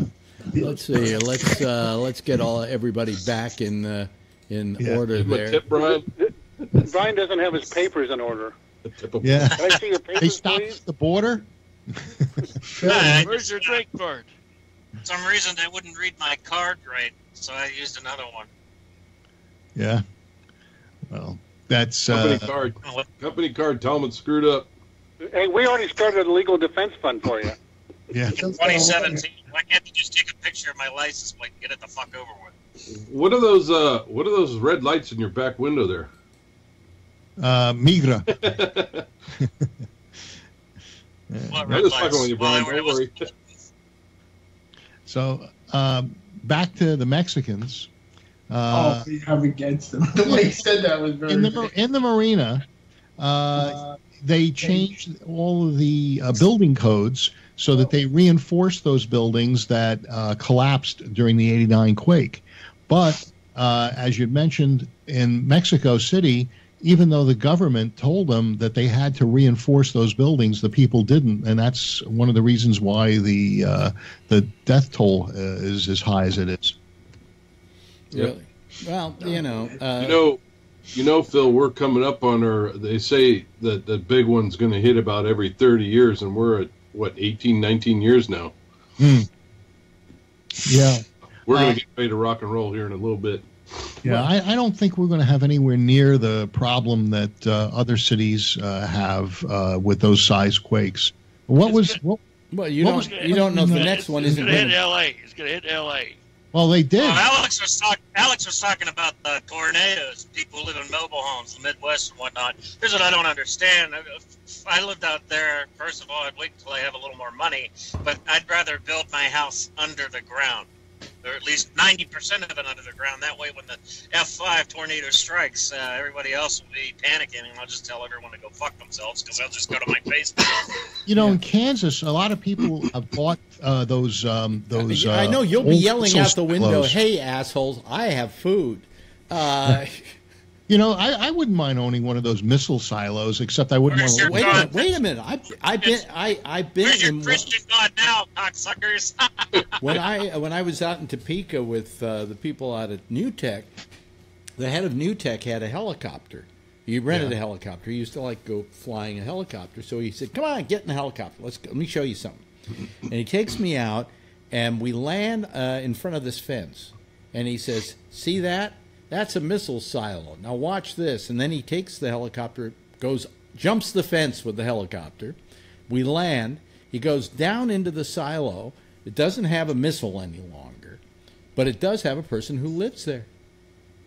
Wow. Yeah, and and he had a home there and a business. He built. I can't remember what he built. He built something, boats or something like that. And Was that out this way? It was It- out it- in, in Kansas Tope- outside of Topeka, Kansas. Oh, okay. Yeah, and uh, uh, man, there is nothing really more fun to be in than a missile silo. How was that? I, I would think it would be. Yeah, you it's know, incredible. it's a pretty cool environment. And and the guy lived down there. He had his home, he had, had kitchen, and the whole thing. And you know, uh, the missile was long gone. You don't need curtains in a place like that no, either. you don't. No curtains, no And- and- shutters. And, as you say, when the tornadoes hit, forget it. You're you're golden. yeah. The only problem was he got all his furnishings at Target. That's subtle, I know, but yeah. Hey, Phil, did you see that article in the San Francisco Chronicle? The people with uh, well, the street was ninety thousand. Well, that guy, uh, couple bought that street in San Francisco, is now being sued by the Yeah. people. They bought a street. That story is Yeah. about, that story's Up about five in months old. Pacific. They were suing them back then. Yeah. What street did they buy? That's an Up old there, story, Mike. Pacific Heights. Pacific Heights somewhere.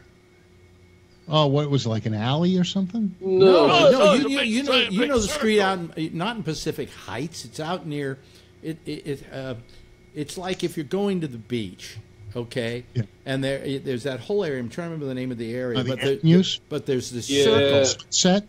Not Sutro. No, what the hell no, is it? no, no, no, no. Uh, It's by the bay. It's right by the bay. Oh, Geary By the and fort, all the way to Geary? But it, but it's a circle. It's kind of a circle, and it looks out over the water. These are beautiful homes. They're very expensive homes. It's not Seacliff, is it? Uh, not Seacliff. Seacliff. Uh, oh, oh, in Presidio Heights. No, it's I- where no, Feinstein no, used to I- live. I- Presidio yes, Terrace. Yes, that's it. That's uh, that's yeah, that's a nice street. Yeah. Well, that's the one that's that's having the problems. Well, I think they just want to keep the riffraff out. Uh, it's is it gated? Somebody bought the rights to it for like fifty dollars. No. Yeah, I mean, uh, Ninety thousand, I think it was. Those 90,000? houses sell for twenty million. yeah, Yeah. and then he wants to charge the people who live there to drive the street. Presidio Terrace, ninety thousand dollars. Yeah. Yeah, But they're, they're saying though, the county of San Francisco was saying they put the uh, the word out like they're supposed to, all the legal mumble jumble stuff. When they sent the stuff out, this one notice ended up in Kern Street, a real fancy uh, building there, Kearny. Kearny. Come to find out, it was one of the business managers that used to work for that set where uh, Feinstein's. house. Ah, you're making no sense at all, Mike. It is. I'm making sense. No, you're Phil. not. Anybody's. It, I didn't say it. Good, Phil. You're lucky. oh, well, Okay, just tell me what he just said, Phil. Uh, he tried to say that the guy who uh, got the rights to the circle uh, was the business manager for uh, some some group of people, and uh, he was off Kearny Street. right, uh, six four. Well, Kearny Street's a long street, and it, you got North Beach Kearny Street, you got downtown Kearny Street. I don't know what street it was. It was some What does that have to fast do with the fact that he bought the thing? They what street know he that, lives that on? there, there's no that no one knew about it. Oh, Presidio Terrace is off of Arguello, and uh, they got that nice temple there. Uh, uh, I forgot what the name of the the one on Arguello with the big dome. Oh, our, uh, Emmanuel. Emmanuel, yeah, it's beautiful. Uh, uh, I, I remember there was, um, uh, I By think the it was way, the by the way, you know Lincoln was Jewish. Did you know that? uh, No, I did not. Yeah, uh, yeah, how could Lincoln be Jewish if uh, Ford owned it? n- n- no, because he uh, he uh, uh, got shot in the temple. Ah, Yeah. all right. Oh, That was a that was a holy situation. That's one of the oldest jokes of all time. I think I learned that when I was a child. All right, bada boom. Bada boom. That's a big bada boom, bada boom. Yeah, Anyway, No rim job. I mean rim shot. no. I'm not allowed. Oh, by the way, tomorrow. No, what about what about a sound effect? A sound effect for a rim job. I got No, it, no, but I'm no, not allowed no, to use He's it. He's not allowed to use it. Uh, by the way, tomorrow on this program, uh, Penn Jillette. Um, we did the interview. Uh, we did the interview what uh, yesterday, and uh, the only thing I was worried about, I'm going to have to I have to make sure I make the file small enough so it doesn't slow down the internet, whatever. But Penn, Uh, Penn know- Jillette tomorrow, and it's very it's very good. We talk about his career. Now, did he actually own Gillette? You know, the, the No. shaving place? No, that's with a G, not a J. Uh, but uh, I can't pronounce it anyway. yeah. Uh, but anyway, so Penn Jillette tomorrow at the beginning of the at the top of the show on video, not live. Yeah. So, hello, Jack Bishop. Hey there, all this discussion about San Francisco and uh, the fact that Phil Meyer shot uh, some a wedding photo Mhm. reminded me of something that I have been trying to remember for the last couple of weeks. Mm-hmm. What radio station was at One Nob Hill Circle? One Nob Hill Circle. Nob Hill. bu- bu- bum. Is that KSFO? No, No, KSFO was in the Fairmont Hotel. Was that the classic uh, station? I was it? don't know. No, what the hell was I don't remember. I don't think I, one Nob Hill Circle. Nob Hill. I don't think there was a radio station up there. Is there a Nob Hill Circle? Uh, now, there's a Nob Hill, but I don't know of a Nob Hill Circle. Hmm. Well, where? Well, well, well, well, who was in the? Who was at the top of the mark? Well, no, there wasn't anything at the top of the mark. There wasn't a station. There It's wasn't a a station. No, restaurant bar. KSFO. KSFO was in uh, the uh, in in the Fairmont Hotel, uh, just a little bit adjacent to the Tonga Room. So that's across the street from the ti- from the mark. Yeah, yeah. Matter of fact, from my room, I could see the Tonga room entrance. Yes, my father used to work in the Tonga Room. Oh, that. My, my father, is my that father, my father is famous because the Tonga Room was famous for the fact that it had a, uh, it, it had a swimming pool in the middle of it. It, it had an island Well, in wait it a minute, too. no, no, it didn't have an island. It had a raft. Oh, okay. and that's the where band, the band, was on the raft. And what they Right. would do is they would float the raft out into the middle of the pool while they were playing music. And my father was on the very end playing his violin, and he had to grab the rope and pull it back in. And one night he was so drunk he pulled it back in and fell into the pool. Hey, if they if they don't like the band, they just disconnect the rope. That's right. That's right. Now, Alex, what years did your dad work at the Fairmont?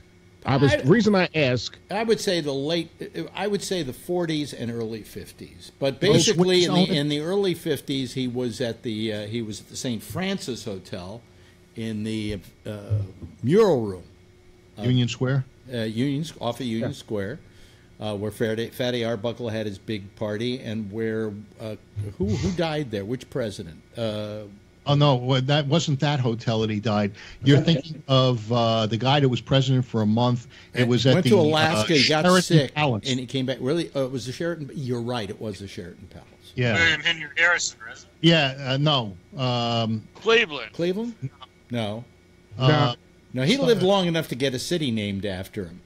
You know, yeah, uh, yeah. No, this guy was. Um, ah, geez, I, I, I always knew his name. Harrison? No, No, No, later. Uh, yeah, he, he, he His went wife- to Alaska. He got food poisoning and he died at the Sheraton Palace. Let's see here. President food poisoning. Well, that could have been Bush. Didn't he get food poisoning in Japan and threw President up? food on- poisoning comes no, right up without he you even flew. finishing. William, Yeah. Hen- I was right. I was correct. Kiss my Who was ass. William Henry Harrison. That's what I Really? thought. Yeah. No. Yes, Now- it, it says He- so. He was look, the short, he died at the Sheraton Palace? shortest term for Yeah. holding office of the presidency for 31 days before dying. Harrison was the first president to die while in office when he caught pneumonia and died on April 4th, 1841. Uh, let's see here. Uh, let's see here. Where are we? Uh, uh, uh, uh, I don't have a full story on it. Wait a minute. Hold on. a list of presidents who died in office. It's not going to have a whole story there, though. Uh, William, uh, let's see. It might on Wikipedia. Uh, Zachary Taylor, William Henry Harrison. Uh, uh, bu- bu- bu- bu- bu- it doesn't say here. Huh. Well, he couldn't have died uh, at at the hotel that we were just talking about. Well, they said he got food poisoning. 1841. Wait a I minute, wait a minute, wait a minute, wait a minute, wait a minute. Hold on a second. Warren G. Harding That's it. That's it. died from a sudden heart attack in his hotel suite while visiting San Francisco around 7:35 p.m. August 2nd, 1923. Yava Vava. That's Yeah. it. Yeah. Led to theories that he was poisoned. Uh, Yeah, food poisoning. uh, but it doesn't say what hotel. But it pro- I, Uh, I think Sheraton it, I think it was the Sheraton Palace. Yeah. That's just below market. Yeah. And, And, uh, but when we say that, folks, we don't mean that the price is lower than the prevailing price of other properties. Market Street. Yes, Market Street. Well, the reason I asked when your dad worked uh, at the at the Fairmont and then at the St. Francis, I wanted to put it in perspective because I think if he worked there in the late 40s, early 50s, uh, my mom was working there at the same time at the at the St. Francis. Was that And owned by my the father-in-law She, she was, was working. too. He was working. I know he was working at the St. Francis about 1951, 1952, 1953. Well, my mom was working there in 51 and 52. Yeah. Where Where did she work though? In the hotel. Well, it was her third job in San Francisco. I mean, you're black, Uh, so she must have been a cleaning woman. y- yeah, she was a maid. Oh, Uh, really? I'm she had- sorry. I was a bit as a joke. Well, well, she was nothing wrong with that. She she had worked uh, uh, as a as a brake person or a brake woman on the uh, cable cars Wow. during the war, and you know, impressive. and You then see them grab those things? yeah, she was you know she you know she could she could do that. And no, I'm sorry, she wasn't a brake person. She was a conductress. That's right. She was a Did they let her ring the bell? I, that I don't know, but uh, you know, women who had those kinds of jobs. You know, there are only two people listening to this whole show who, are- who are from San who are from San Yeah. Francisco care about any of this. But you know, well, anyway, Phil, when the war ended, she lost her job because the men who had been working for the Municipal Railway of San Francisco came back to work. that's so she lost her job to the Yeah. man. Yeah, Well, no, I, I, uh, that, that was common at that time, where women who had replaced all these men during World War II, when the men came back, they were they were let go. You didn't get the joke. Oh, she wait, lost the job to the man. you know, like uh, undercover undercover brother is always trying to, you know, uh, uh, free, uh, get- well, get a- your, your, your attempt at black humor is not very good, Phil. He's trying to sound like a soldier. in the words of yeah, Jim, even blood over Because some because you're professional you're about the whitest human being I know. Really? Phil, in the words of the great Jackie Gleason, "Hardy har har." All right. All right, yeah. He doesn't even do the all right right. Yeah. Yeah. Well, I, you know, it's it's the, the blackness in me. Oh Christ! I got so much soul I can't oh, control. Shit. Eat You shit. can go and buy Adidas sneakers tomorrow. Wait, and wait, wait. Cancel my Black American card. if, if- if we're letting you in, They're going to take your black card away from you. All right. Well, let me see. So anyway, it was well, you're thinking of Warren G. Harding. Yeah. Yes, that was it. Yeah. I knew it wasn't Harrison. Uh, Warren G. Harding. That's it. Right. Okay. Uh, so, you, so you got it. You, you got something. uh, We got something right tonight. Yeah, but I couldn't remember his name. All except the one. You want to let people. The hotel he died in. They've got a wonderful brunch on Sundays there. Well, he damn sure didn't get his politics right, but that's another story. In 31 days, he, he got almost as much accomplished as Trump. Oh, Christ. You know, Phil, I've always wanted to ask one of you conservatives this question. Who should be your opponent? Who should be my opponent? Who should be the opponent of you conservatives? Uh, there shouldn't be any opponents. It should just be uh, conservatives, and that's the only way that there is. You know, So, in other words, a Politburo with an American flag wrapped around it. I like it. Yeah, yeah, definitely. Yeah, let me put on my hat for that one. I would hold up my Make America Smart bumper sticker, but we've given them all away and we haven't got the new ones yet. But be listening to the intersection because starting next week we'll have them and we'll be giving away once again Make America Smart bumper stickers. You know, I, I used to listen to a radio station in New York called WWRL, uh, 1600 top of the dial.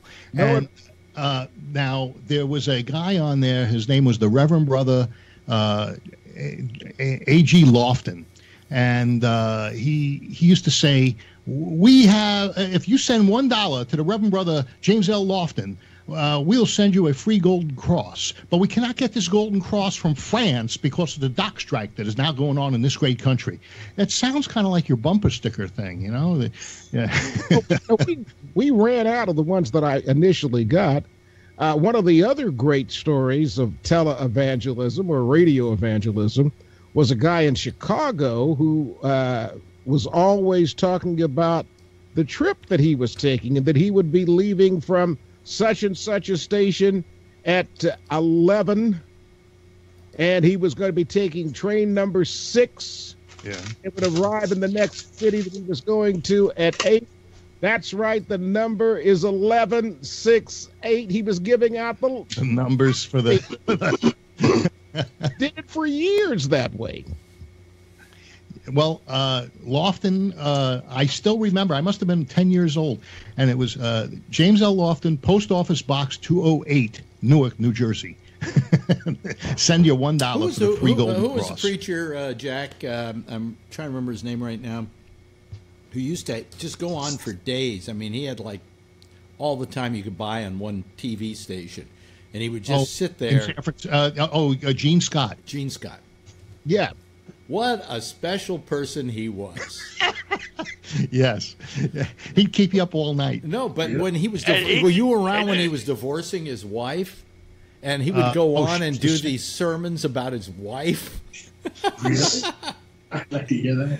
And he just told it, told it like it was, didn't he? Yeah, Gene Scott. until yeah, but you had to send in money to, to get him more airtime uh, because he was going to lose his satellite up feed. Yeah, yeah. And he was always always trying to get money. and if you weren't giving uh, your love offerings he'd stop the program and just start showing videotape of his horse ranch Yes. That wasn't the guy that sold the unfinished furniture in San Francisco, um, who had the horse. Oh yeah, what the hell was his name?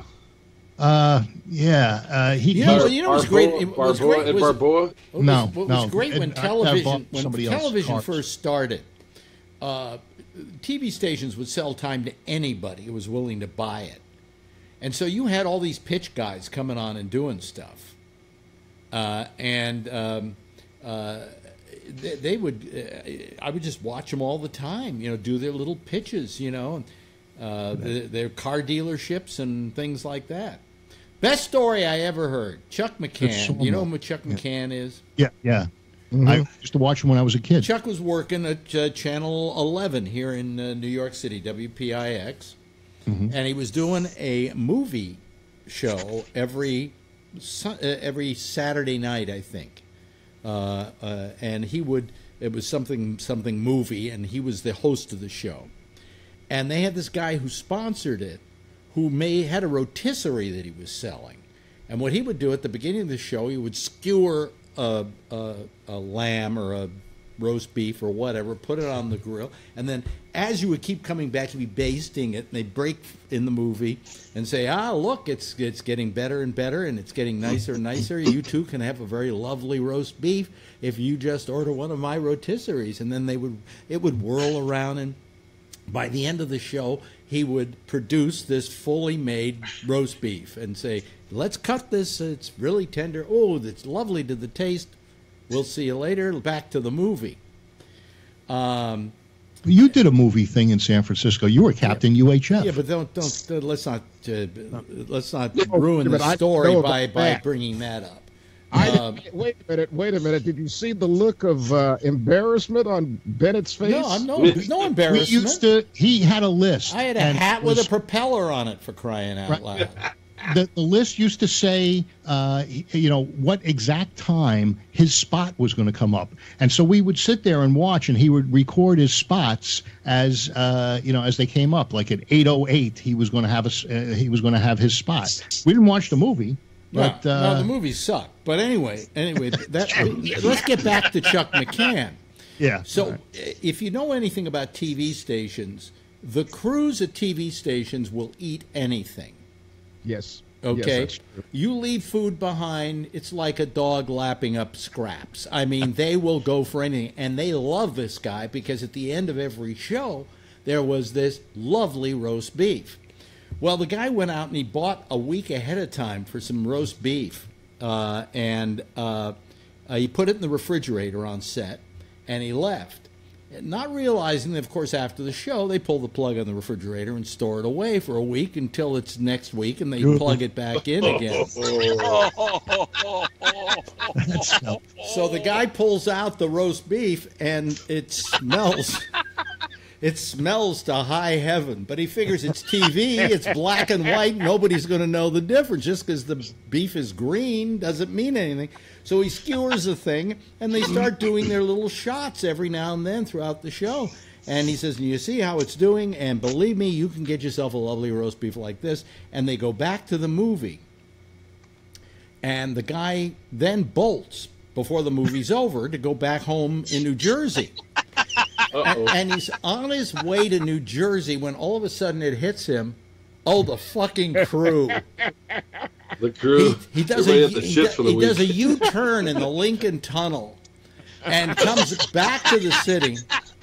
And Too he's, late. he's pulling up the W uh, WPIX, which is in the Tribune building. Where's that? Down off of Fifth Avenue or something. He pulls up. There's an ambulance. and they're hauling members of the crew out who are complaining of massive stomach and gastric problems. That's great. You know, you you ought to try and get your Chuck, your friend Chuck McCann to uh, do a half hour. He's with written you. me recently. I should probably talk to him. He's he's an interesting character.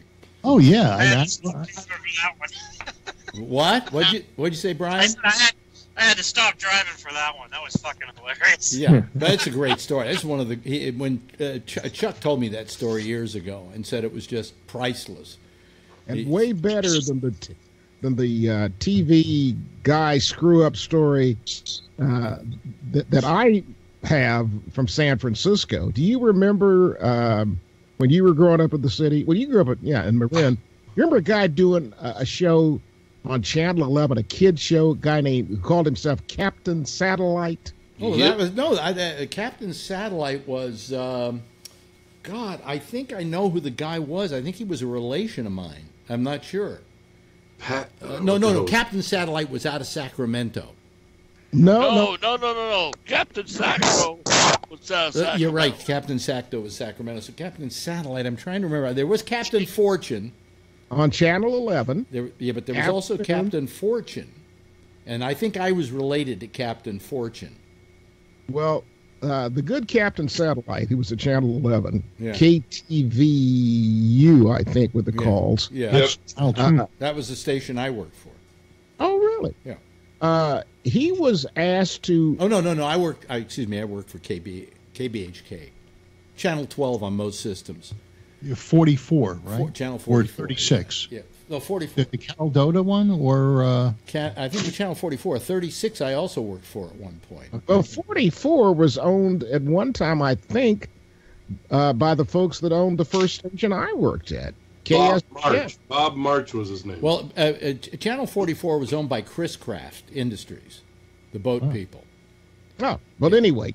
and that's his name, Chris Chris Kraft. No, it, no, it wasn't. Well, then Captain Satellite was asked to be the Grand Marshal of the Contra Costa County Fair one year. Mhm. And like so many people in our business. By the way, uh, before you finish this, is this an alleged story or is this known no, for a fact? No, this this is a real story. Okay, because a lot of these things become legend, you know.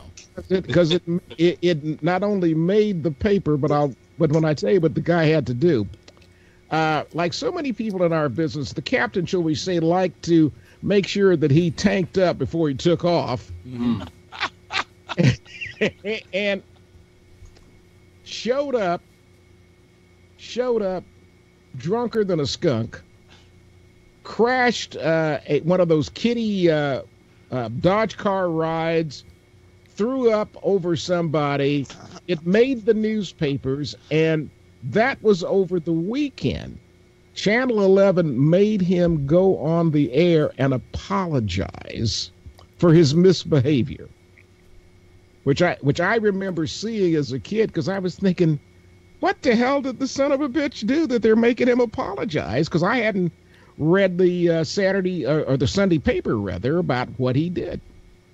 And I was thinking about uh, the Emmys and poor Sean Spicer, who is now having to apologize uh, for his misdeeds, of misleading the press and the American people. He should be made to do that like Captain Satellite Well, had wait, to wait do minute. For a minute. I, you know something? I don't think there was anything wrong with Sean Spicer being on the Emmys. I think that it shows him a man of great humor about himself and able to laugh at, at that situation. They Uh, I think the I think that is that everybody so, has it so out for him, and quite frankly, I'm I take pity on Sean Spicer.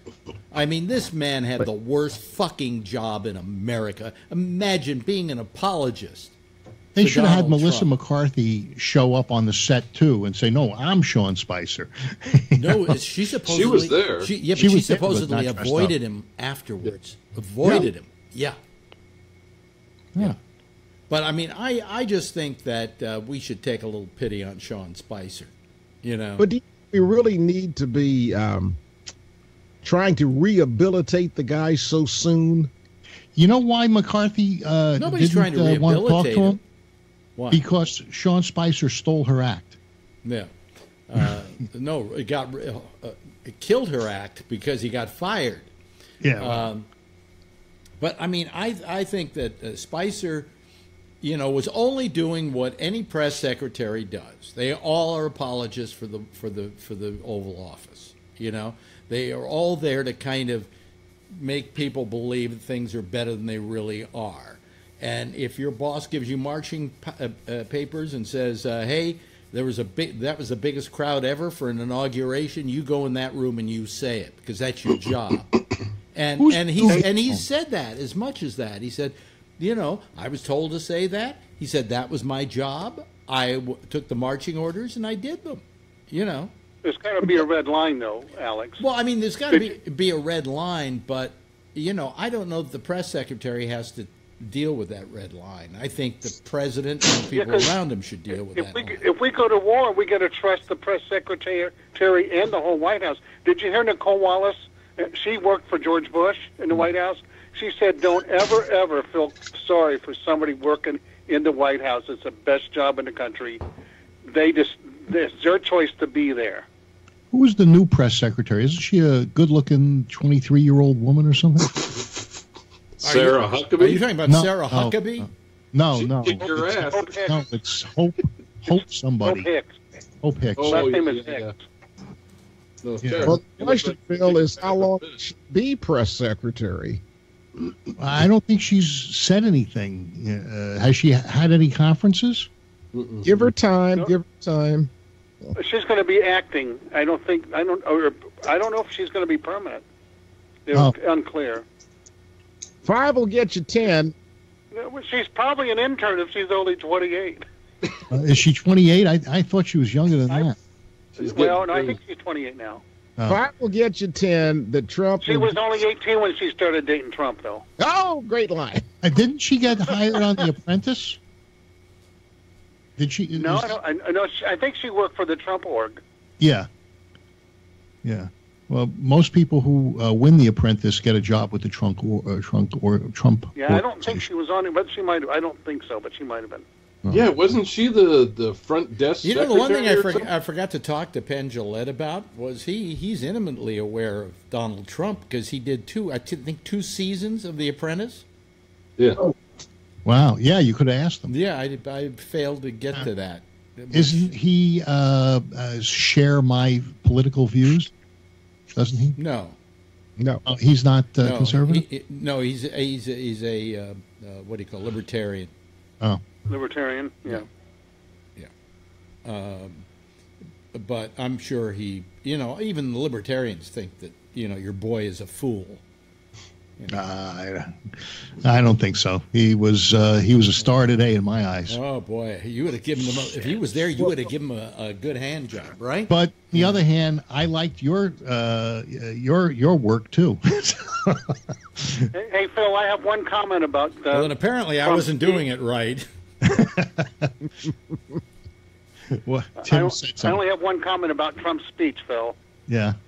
It's some of Putin's best writing.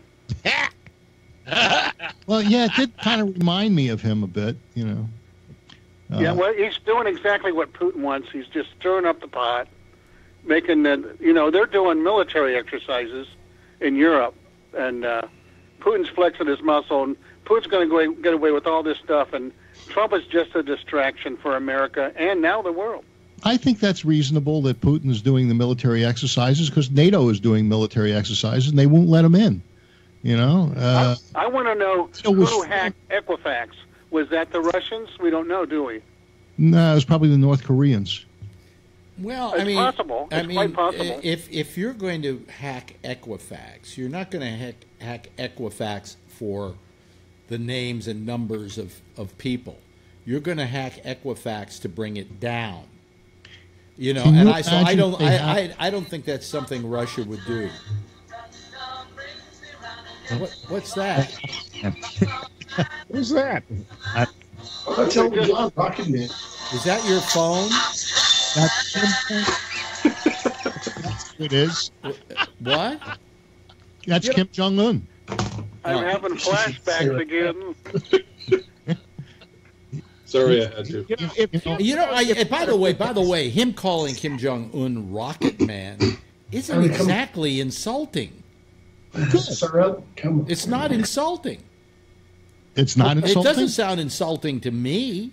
Sounds it sounds like it to If, me. It uh, diminishes and uh, uh, Kim Jong Un's I, I, uh, power. love, I love space and the exploration of space. And if somebody called, they used to call me Moon Rocks Bennett for crying out loud. I, I I have a friend school. on Facebook that changed their profile to Elton Jong Un.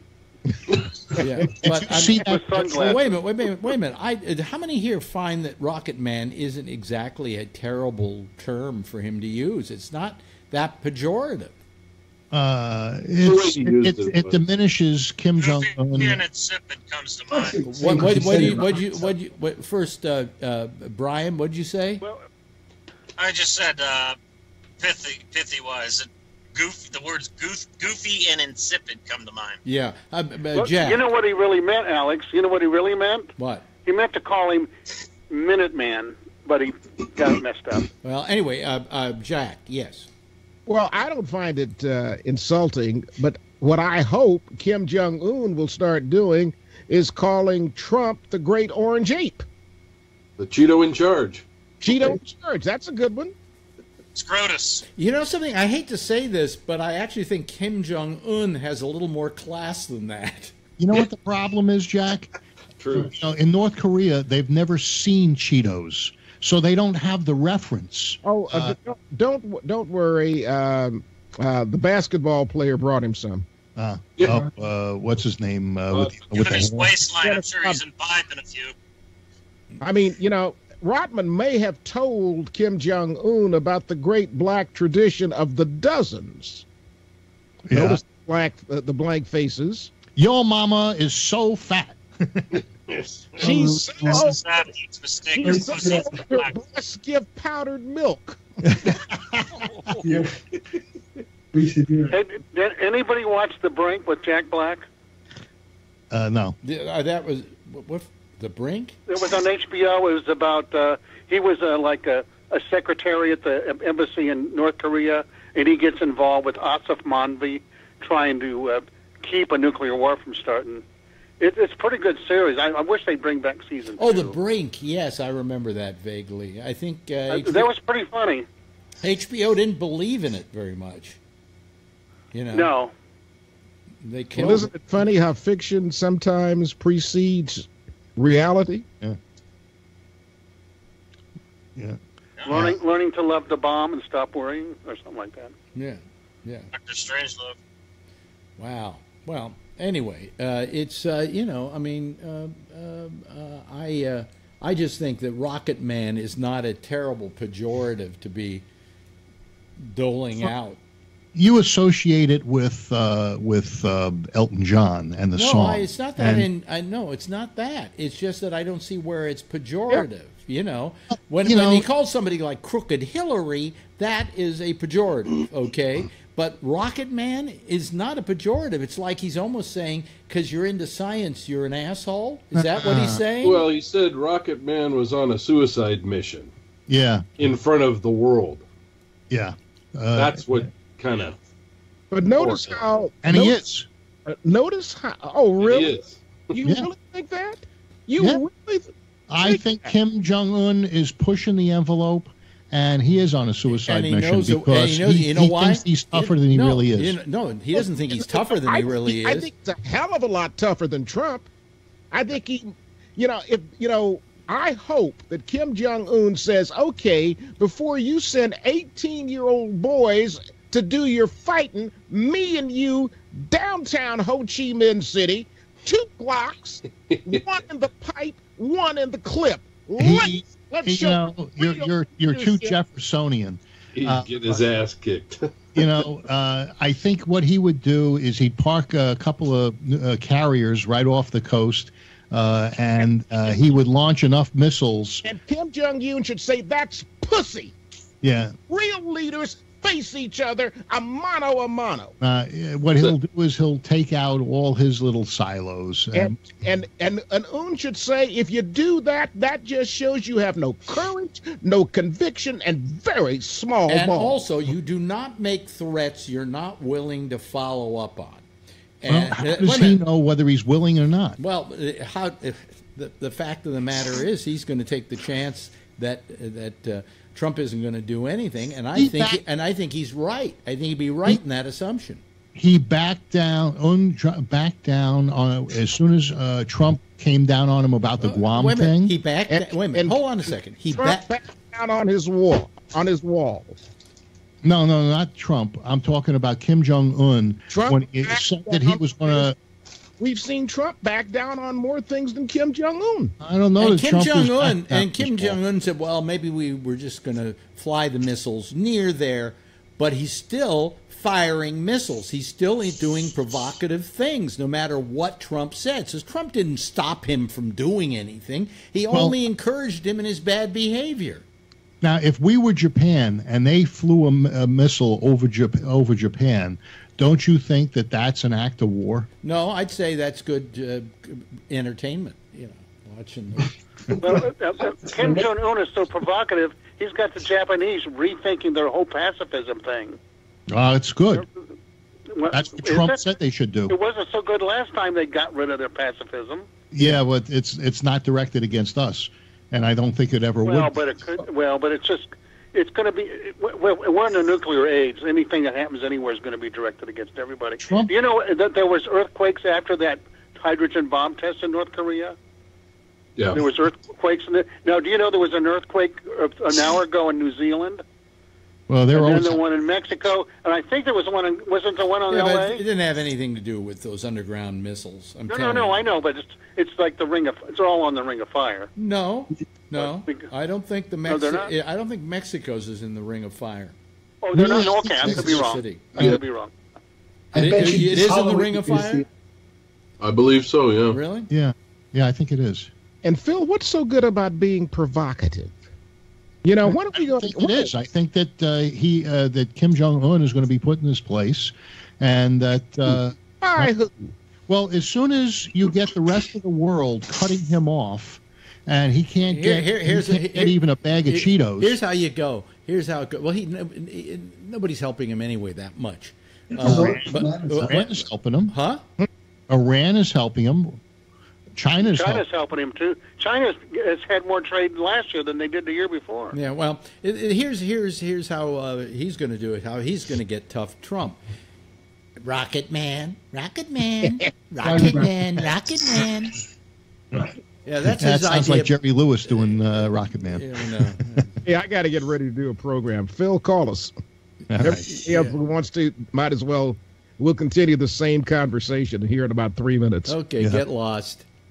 Have a good time tonight. I'm, I'm Okay. Anyway, um, uh, but that that about almost uh, wraps it up for us here as well. You know, um, uh, I, I want to thank uh, Brian, who's uh, dr- still driving, uh, and and Phil, who is not driving, and Kevin, who is sitting in his apartment, uh, his house rather, like he normally sits in ha- his house. And uh, thank you very much, Mike, wherever you are. Of course, Tony out in Queens. And Tim, thank you so much for joining us uh, this Alex. evening.